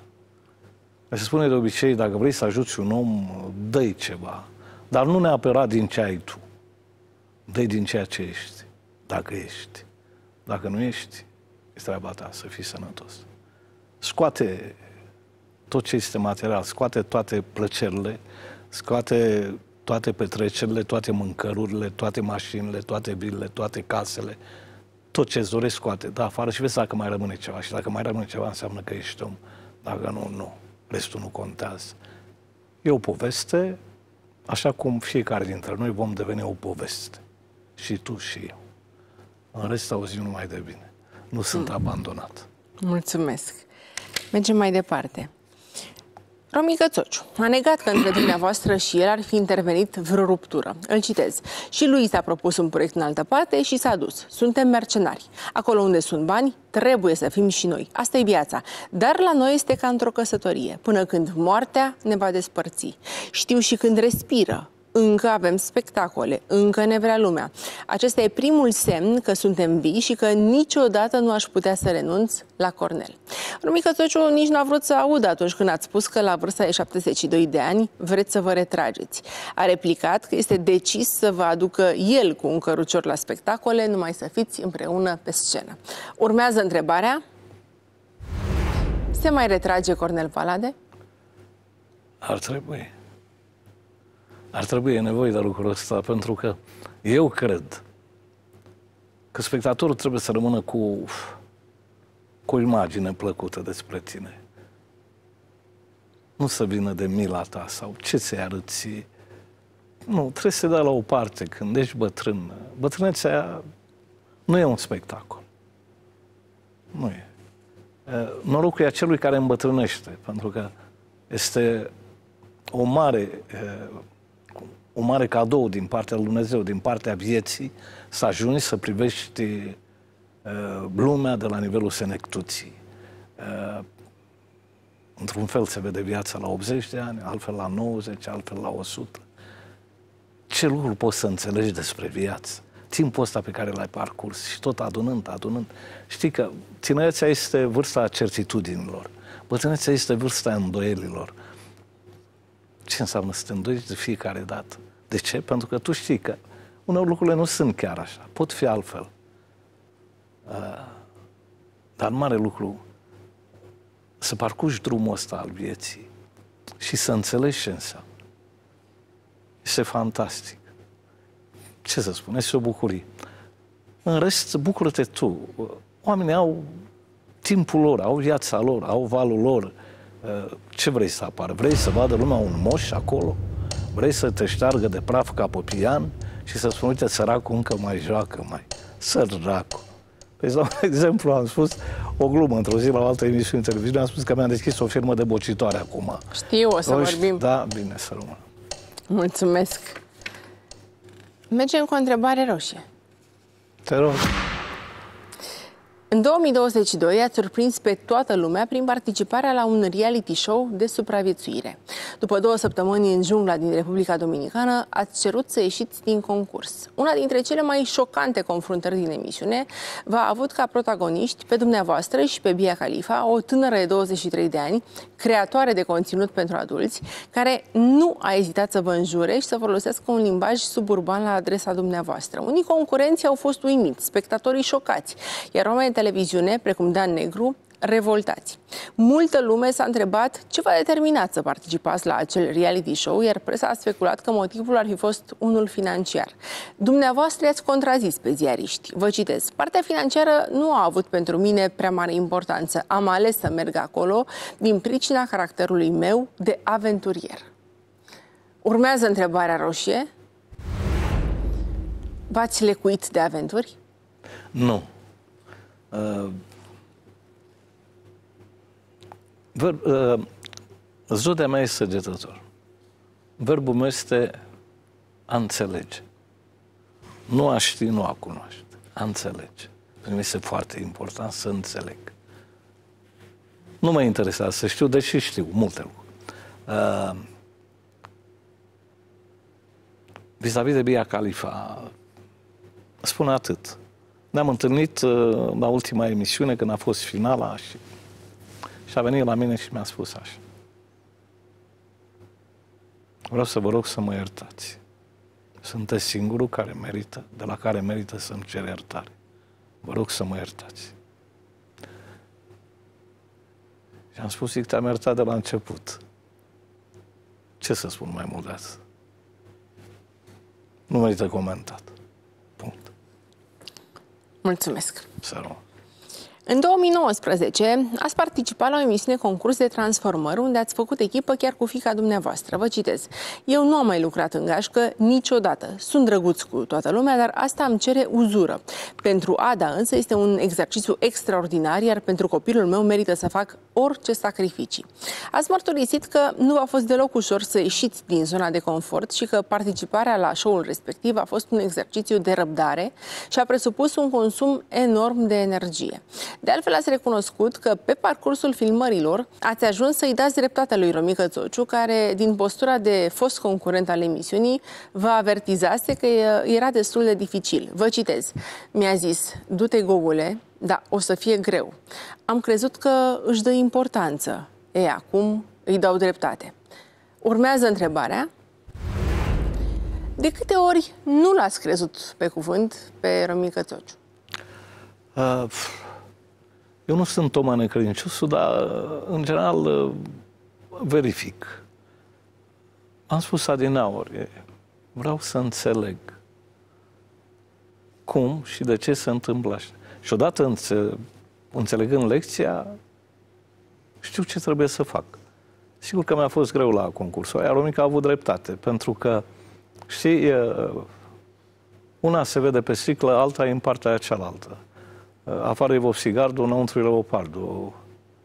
Nu eram în starea mea de confort, ca să spun așa. Pentru că n-am înțeles care e mecanismul acolo și strategia era în așa fel făcută încât tu să te simți inconfortabil pentru a atinge probabil niște parametri. Ei creau această stare, știi? Când mi-am dat seama, deja se terminase m-am certat și cu fica mea. Adică, ce să spun, lucrurile au fost de natură asta. Iar fica mea n-a înțeles absolut deloc ce a fost acolo, pentru că a suferit cumplit și ar fi dorit să facă mai multe, dar nu putea din cauza mea, pentru că mi-a reproșat că ni se dădeau teme facile, pentru că eu nu eram în stare să fac ce, da? ce ar fi vrut ea să facă și așa mai departe. Până într-o zi am zis că eu plec și rămâi tu aici și fă tu ce vrei tu și lasă-mă în pace. Dar am dus-o până la capăt și s-a încheiat. Mulțumesc. Continuăm. Ați povestit că, însărcinată fiind, soția dumneavoastră își dorea băiat, în vreme ce dumneavoastră sperați că veți fi tată de fată. În 1989, dorința vi s-a împlinit și s-a născut Andrada, pe care o alintați Ada. Considerați că viața de artist este grea și nu v-ați dorit pentru fica dumneavoastră o carieră în domeniu. Acesta a fost motivul pentru care, după terminarea liceului, ați insistat ca Ada să urmeze facultatea de drept. V-a făcut pe plac, însă după șase luni a renunțat pentru ca mai apoi să intre la facultatea de actorie cu 10 pe linie și să termine între primii trei Comedia 980. A făcut și un master de actorie în Anglia și tot acolo s-a înscris și la o a doua facultate pentru a studia producție muzicală. Întrebată când a decis să devină artistă, fica dumneavoastră a răspuns așa. Nu am decis. Așa m-am născut. Vreau să știu dacă v-ați împăcat cu ideea că fica dumneavoastră a fost predestinată scenei. Urmează întrebarea. Vă întrece fica dumneavoastră?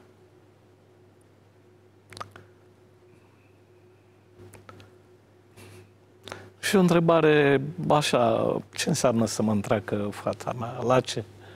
La maraton? La ce să mă... În meserie? Uh, fica mea e foarte bună. E foarte bună și ca actriță, și cântăreață, și are un feeling extraordinar și o energie teribilă. Uh, da, cred că e peste mine. Uh, fica mea n-are celebritatea mea. Bine, eu nu spun celebritate ca și cum aș fi foarte mândru că sunt celebru, etena.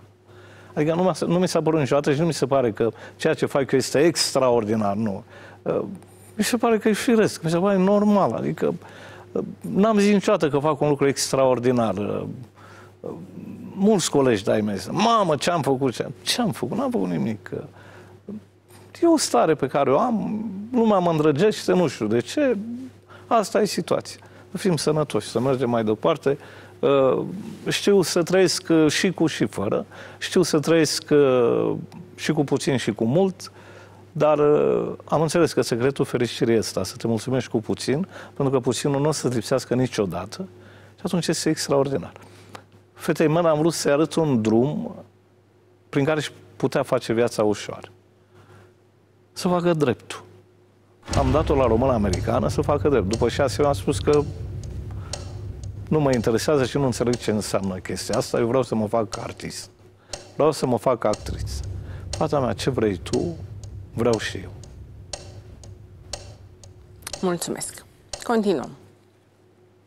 În 2017 ați fost în turneu prin toată țara cu spectacolul de teatru Niște animale, o adaptare după Ion Băieșu. Piesa este o alegorie despre dictatură care aduce în fața publicului 20 de personaje interpretate de patru actori. Ana Maria Mirică, Romică Țociu, Cornel și Ada Palade, fica dumneavoastră. O citesc pe Ada Palade. Am urcat pentru prima oară pe scenă alături de tata și am avut bucuria să îl am alături și pe tata numărul 2, Romică. Să am debutul pe scena teatrului alături de amândoi a fost magic. Celor care cred că un nume celebru deschide orice ușă, mult mai ușor, dumneavoastră le spuneți că nu e chiar așa, că faima părinților naște invidii și că dumneavoastră ați lăsat-o pe Ada să se descurce pe cont propriu. Vă citez. Nu am vrut să o plimb la toate posturile de televiziune, pe la emisiuni, cum am văzut că fac mulți părinți cu copiilor. Am vrut să-și găsească drumul singură. Urmează întrebarea. Cât de dezavantajată a fost fica lui Cornel Palade? Iar mi-e greu să răspund. Uh, când consider că un om este dezavantajat, înseamnă că uh, trebuie să aduci acuze cuiva, cine a dezavantajat-o. Uh, asta e lucrarea vieții, așa se întâmplă. Și mie mi-a venit târziu rândul, ca să zic așa. Și de-aia am, i-am spus și ei că nu te uita la mine. La mine poate a fost o întâmplare, poate a fost noroc, poate... Uh, la tine poate să nu se întâmple niciodată. Sau să se întâmple, sau fie foarte repede. N-ai niciun control aici. Nu știi. Uh, ești într-o zonă unde măsura ce dă cel care vine să te vadă. Vine cineva să te vadă. E interesat de tine. sau nu. Cine știe? E taină, e mister. Nu poate să spună nimeni. Numai când se întâmplă, atunci îți dai seama că s-a întâmplat, că a fost ceva. E o stare pe care o ai sau nu o ai. Nici omul nu știe de ce vine să te vadă, îi place pur și simplu. Vrea să ia o pauză de la gândurile zilnice pentru două ore și să se uite la tine. Și apoi pleacă, se duce chiar în gândurile lui. Rămâi tu în gândurile lui sau nu rămâi? Mai vrea să mai vină și altă dată să te vadă. Cine știe? Nu știe nimeni. Mulțumesc. Continuăm. În ciuda faptului că este o tânără deșteaptă și sigură pe ea, fica noastră nu a fost scutită de întâmplări dramatice în România. În 2013, Ada a ajuns la spital unde a stat mai multe zile internată după ce a fost bătută de un șofer RATB pe care îl claxonase în trafic.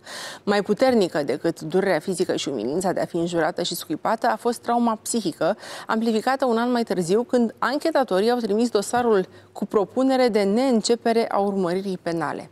Acest lucru pare să fi contribuit decisiv la hotărârea Adei de a pleca din țară și ați aflat de ea după ce fica noastră părăsise România. O citesc pe Ada. Mă bucur atât de mult că sunt departe de acel tărâm al nimănui. România nu m-a tratat niciodată ca pe copilul ei. Urmează întrebarea. Dumneavoastră, ați fugi vreodată de România? Nu cred că a vrut să spună asta. Nu era vorba despre România. Era vorba despre oamenii din România. România e inima noastră, România e sufletul nostru, România e viața noastră. România e scrisă în codul nostru genetic. Eu nu pot trăi în altă parte decât aici, oriunde m-aș duce. Oriunde plec în lumea asta și am fost în locuri, în locuri frumoase, cu oameni minunați. De fiecare dată abia aștept să mă întorc acasă. Să mă întorc acasă în sărăcia mea, în neamul meu, în poporul meu, pentru că aici mi este locul și nu înțeleg viața altfel decât așa. Uh, când vorbesc despre uh, țara mea, despre neamul meu, despre poporul meu, uh, o fac cu foarte mare responsabilitate și cu mare emoție. Cine aș fi fost eu dacă nu era poporul meu? Cine aș fi fost eu dacă nu era România, dacă nu mă nășteam aici? A, Zic câte une, păi mata dacă te-ai fi născut în America, erai acum uh, miliardar sau... Uh, da, da, se putea să nu fiu. Se putea să nu am această conștiință față de glia mea pe care o am acum aici. Asta care mă face fericit și care mă împlinește. Restul sunt uh, lucruri care se ard, care se pierd, care rămân. Dragostea de neamul tău, de de poporul ăsta amărât. Mulțumesc!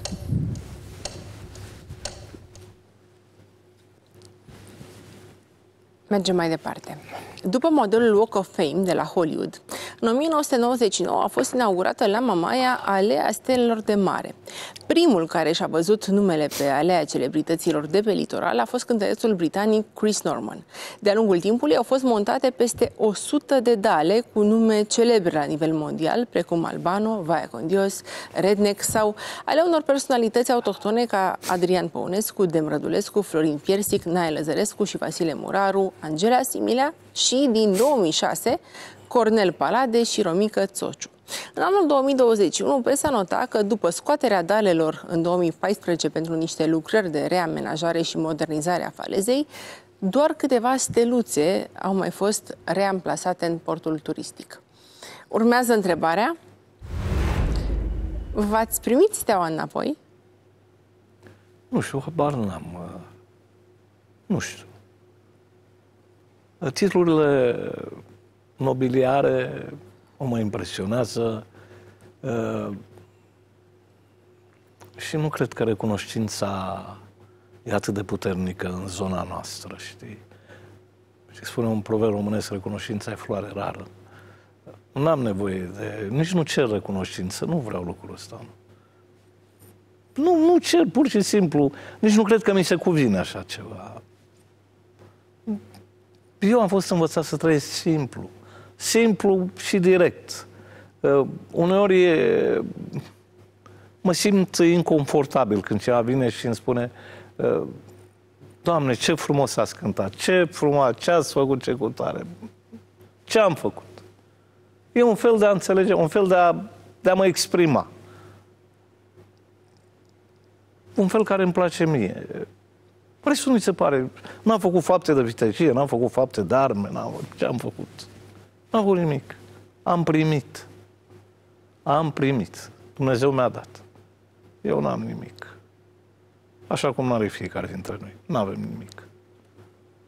Să rămân. Mulțumesc. Mergem cu o întrebare roșie. În tinerețe erați nelipsiți de la cerurile cu prietenii și de la petrecerile unde întrețineați atmosfera nu doar glumind, ci și cântând.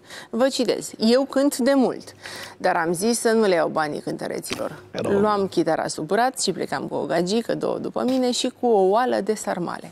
În anul 2000 ați lansat, alături de Romică Țociu și de cântăreața Carmen Șerban, două albume intitulate Doi băieți și o fată pentru țara toată.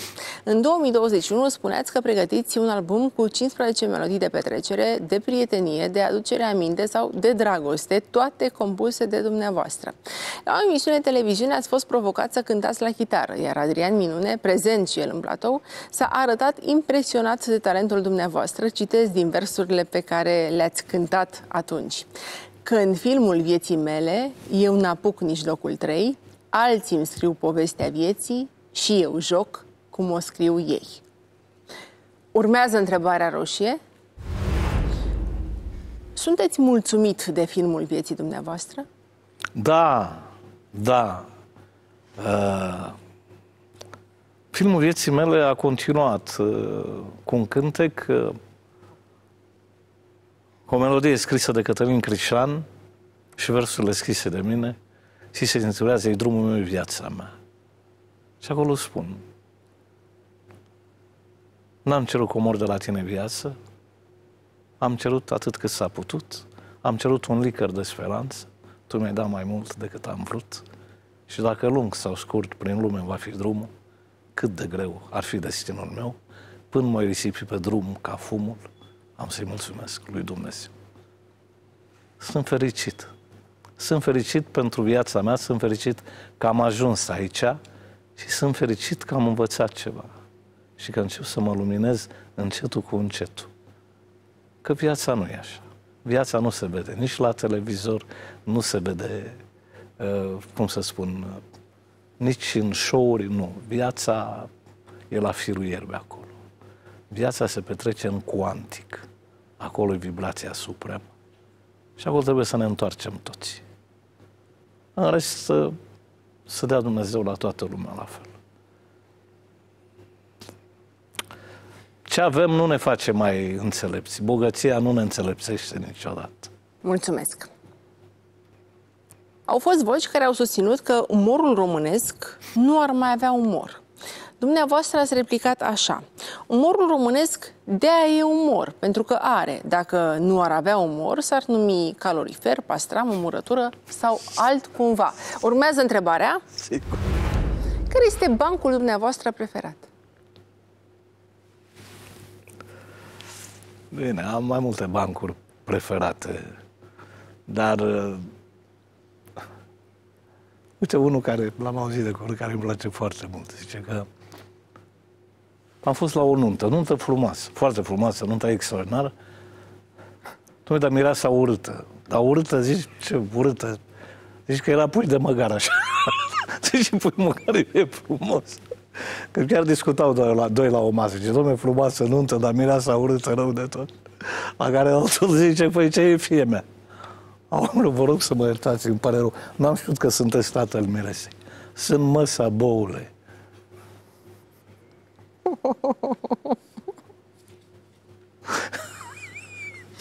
N-are umor? Ba da. E românesc. Iată ce umor are. Mulțumesc, continuăm. În unele situații, mimica dumneavoastră serioasă păcălește interlocutorul care nu știe dacă glumit sau vorbit serios. S-a întâmplat și atunci când ați anunțat că vă lansați în afaceri și că vă deschideți o firmă de bocitoare. Mi-ați spus mai devreme. Ați spus așa, eu am făcut deja prețurile. La 300 de euro am un bocit simplu. Apoi am bocit cu însoțitul mortului și aruncat în groapă. 400 de euro și mai am varianta bocit aruncat în groapă cu tot cu bătut popă 500 de euro. Ați fost nevoit să dați o dezmințire deoarece mulți nu au prins gluma ba chiar s-au apucat să vă compătimească. Vă citez. Un prieten de la Pietra Neamț s-a întâlnit cu niște doamne care i-au zis Vai, săracul domn Palade, ce rău a ajuns. Vai, săracul, bocește acum la înmormântări. Urmează întrebarea? Cât de des vă ia lumea în serios? Am să spun un lucru. Este faza de întâlnire, când ne întâlnim. Și omul se deschide, vine să-mi spună niște bancuri, fiecare vine, uh, asta au, haideți să vă spun niște bancuri reputate. Și îl las, unul, două, trei, la un moment dat îi spun, tată, lasă-mă că le știu, sunt sătul de ale mele. Dar uh, e o deschidere. Apoi după aceea începem să vorbim. Și îl duc în altă zonă. și se lasă liniște și nu mai zice nimic, se uită la mine într-un anumit fel și mă privește așa cum nu m-a privit niciodată până atunci. Și zice, domnul Pade, să vă dea Dumnezeu sănătate, vă mulțumesc din suflet. Deci un om extraordinar. Nu v-am cunoscut așa. Bine că mă cunoști așa. Uh, știi? Zice că Dumnezeu pe cei pe care îl iubește foarte mult le dă revelații. Nu întotdeauna e în cap la mine ce spun eu. Nu, sunt lucruri pe care nu le-am spus niciodată. Vorbesc cu un om nu ca să arăt eu ce știu eu, că sunt eu de deștept, nu. Vorbesc cu un om ca să pot să-l cunosc. Și împreună cu asta mă cunosc și eu pe mine, raportat la el. Mă descoper de fiecare dată alături de un alt om. Și învăț împreună cu el. Și atunci mi apar niște gânduri pe care le rostesc. Și am zis, rolul semănătorului din Biblie ăsta este. Ia și însămânțează. Și asta fac. Poate vor prinde vorbele mele. Mai târziu sau mai devreme. Vorba evanghelistului. Ce mă pui, Doamne, pe mine să scriu aici că nu înțeleg nimic? Mă ia și scrie, că nu e pentru tine. E pentru cei care vor veni. Mulțumesc. Continuăm. Presa scrie că în prezent aveți o pensie de 1450 de lei. Întrebat cum reușiți să vă descurcați lună de lună cu acești bani, ați făcut în stilul caracteristic haz de necaz. Vă citesc. Eu am născut în evul mediu timpuriu. Am crescut cu lampă, cu gaz, cu foc în sob, am tremurat de frig, am fost udat de ploaie, așa că nu am nicio problemă. Mai rău de atât, nu se poate. În 2016, când Mircea Băsescu, fratele fostului președinte al României, era condamnat pentru trafic de influență, presa remarca asemănarea fizică izbitoare cu dumneavoastră. Ați comentat așa. Da, semăn cu fratele președintelui. Mi-ar fi plăcut să mă confunde lumea cu Mircea Băsescu. Aș fi vrut să mă confunde cu el și Bercea Mondial. Să-mi dea și mie niște bani acolo, că nu-mi stricau. Urmează întrebarea. Ce lipsește lui Cornel Palade?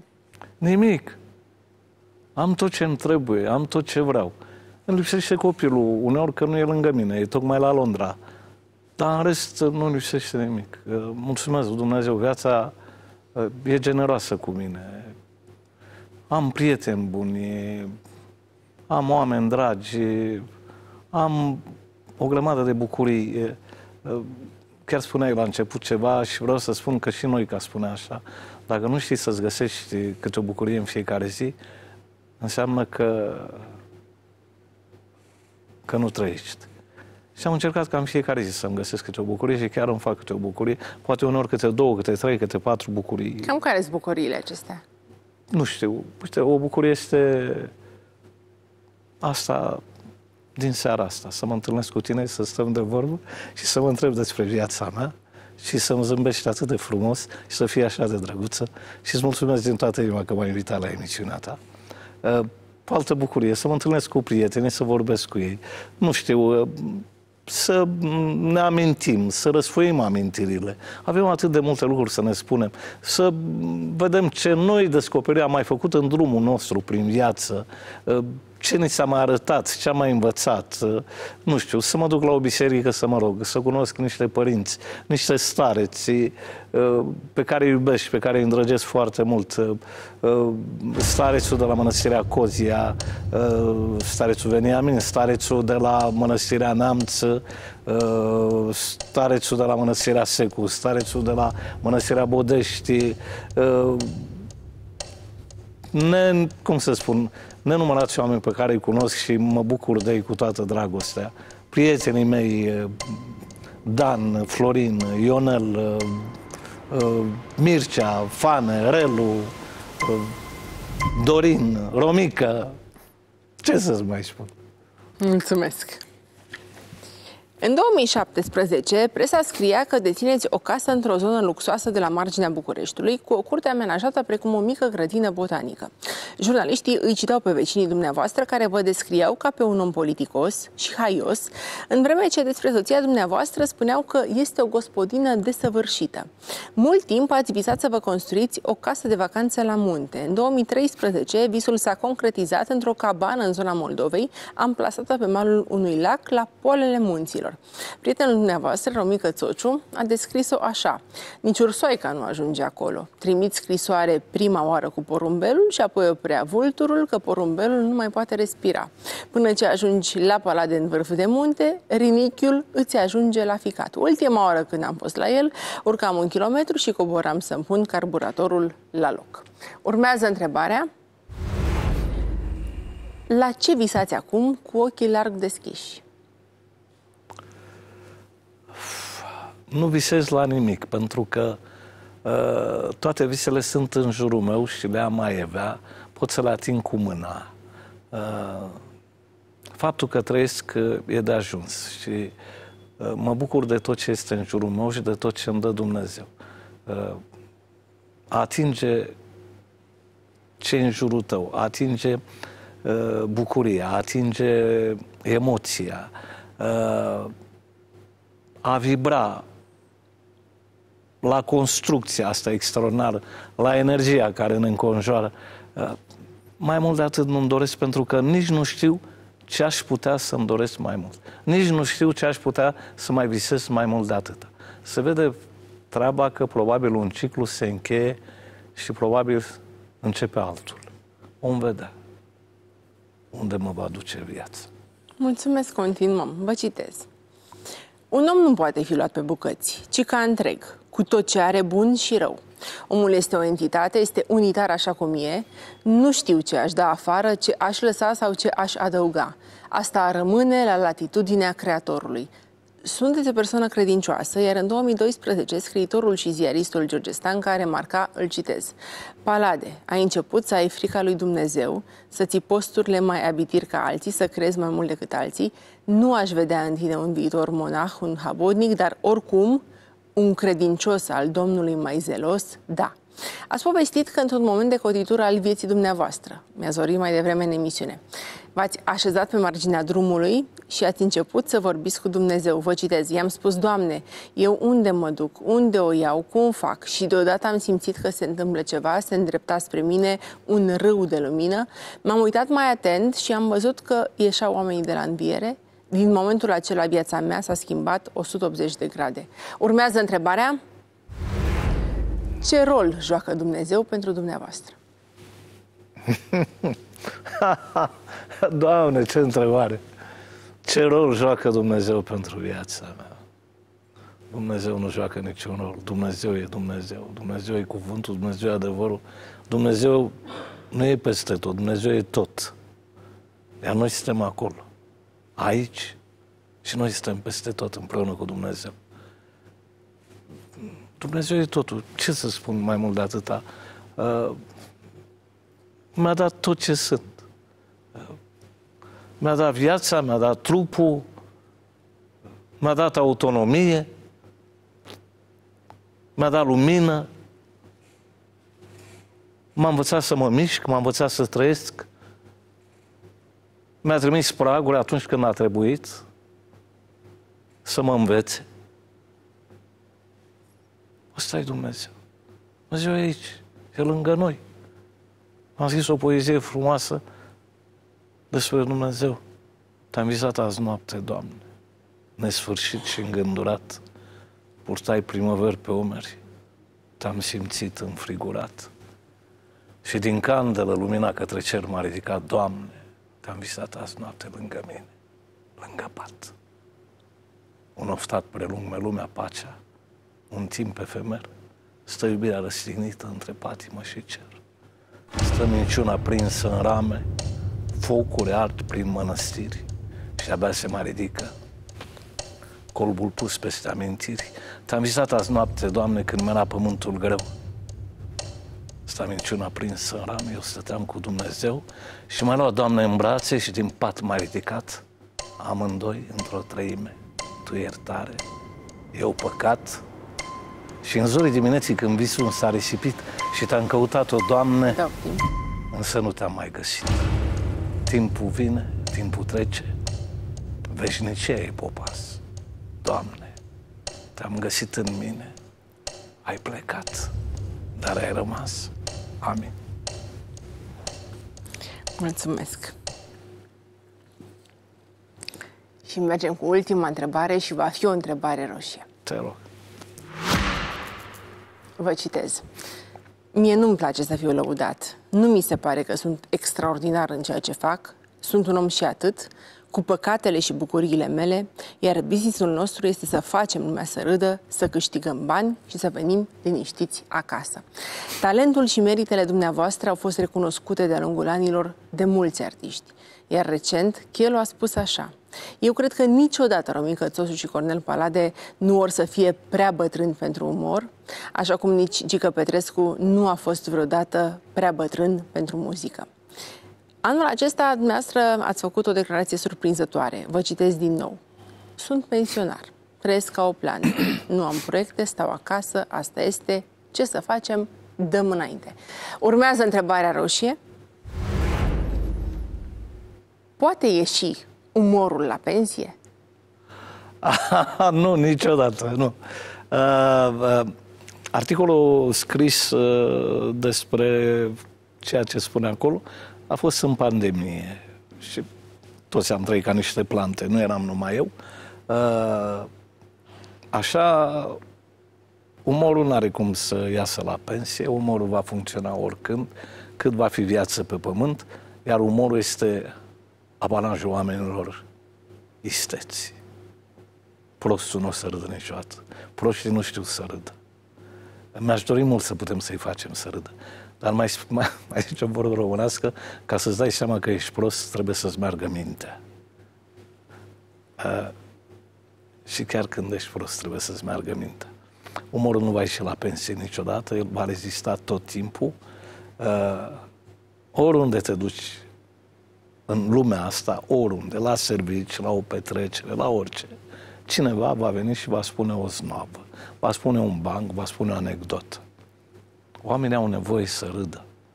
Au nevoie de medicamentul ăsta. Uh, râsul este folosit în cura împotriva cancerului. Iată ce important este. Râsul, comedia. Avem nevoie de lucrul ăsta. Dacă omul râde, e în regulă. Mulțumesc, Să Cornel rămână. Palade. Acestea au fost cele 40 de întrebări. Eu vă mulțumesc din toată inima pentru că sunteți în această seară aici la noi. Toți cei care ne urmăresc, văd acum pe micile ecrane un tabel. Ați răspuns tuturor celor 40 de întrebări pe care vi le-am adresat și ne-au mai rămas la dispoziție 4 minute. Dacă sunt chestiuni ce v-ați fi dorit să vă întreb și eu nu am făcut-o, dacă sunt lucruri din biografie ce mie mi-au scăpat sau pur și simplu chestiuni pe care vreți să le adăugați sau să le dezvăluiți, acum este momentul și după aceea va urma evaluarea mea. Cred că ceea ce am spus până acum a fost cuprinzător și cred că destul pentru telespectatori și destul și pentru mine e, și pentru întâlnirea cu tine. Iată, mi-am rememorat viața, ca să zic așa, am răsfoit-o și mi-ai făcut o mare bucurie și o mare plăcere. E, Chiar sunt mândru de viața mea și tu m-ai făcut să întăresc acest lucru. Îți mulțumesc din inimă, să rămână mult. Eu vă mulțumesc.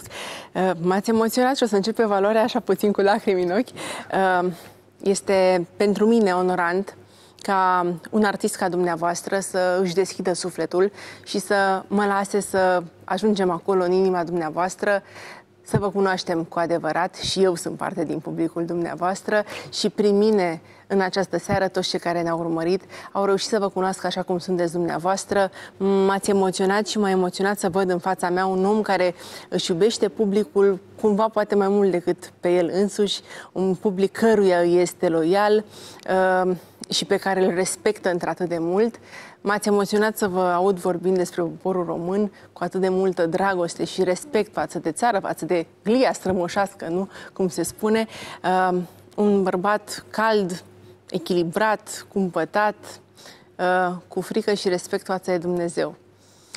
Da, Cornel Parade, o onoare și o bucurie că ați fost în această seară aici, alături de mine. Să rămână, mulțumesc din inimă. Mulțumesc din suflet.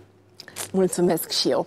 Dragi telespectatori, am ajuns la finalul emisiunii 40 de întrebări. Săptămâna viitoare vom fi din nou în fața dumneavoastră cu un nou invitat și cu noi întrebări. Mulțumesc pentru atenție. La revedere!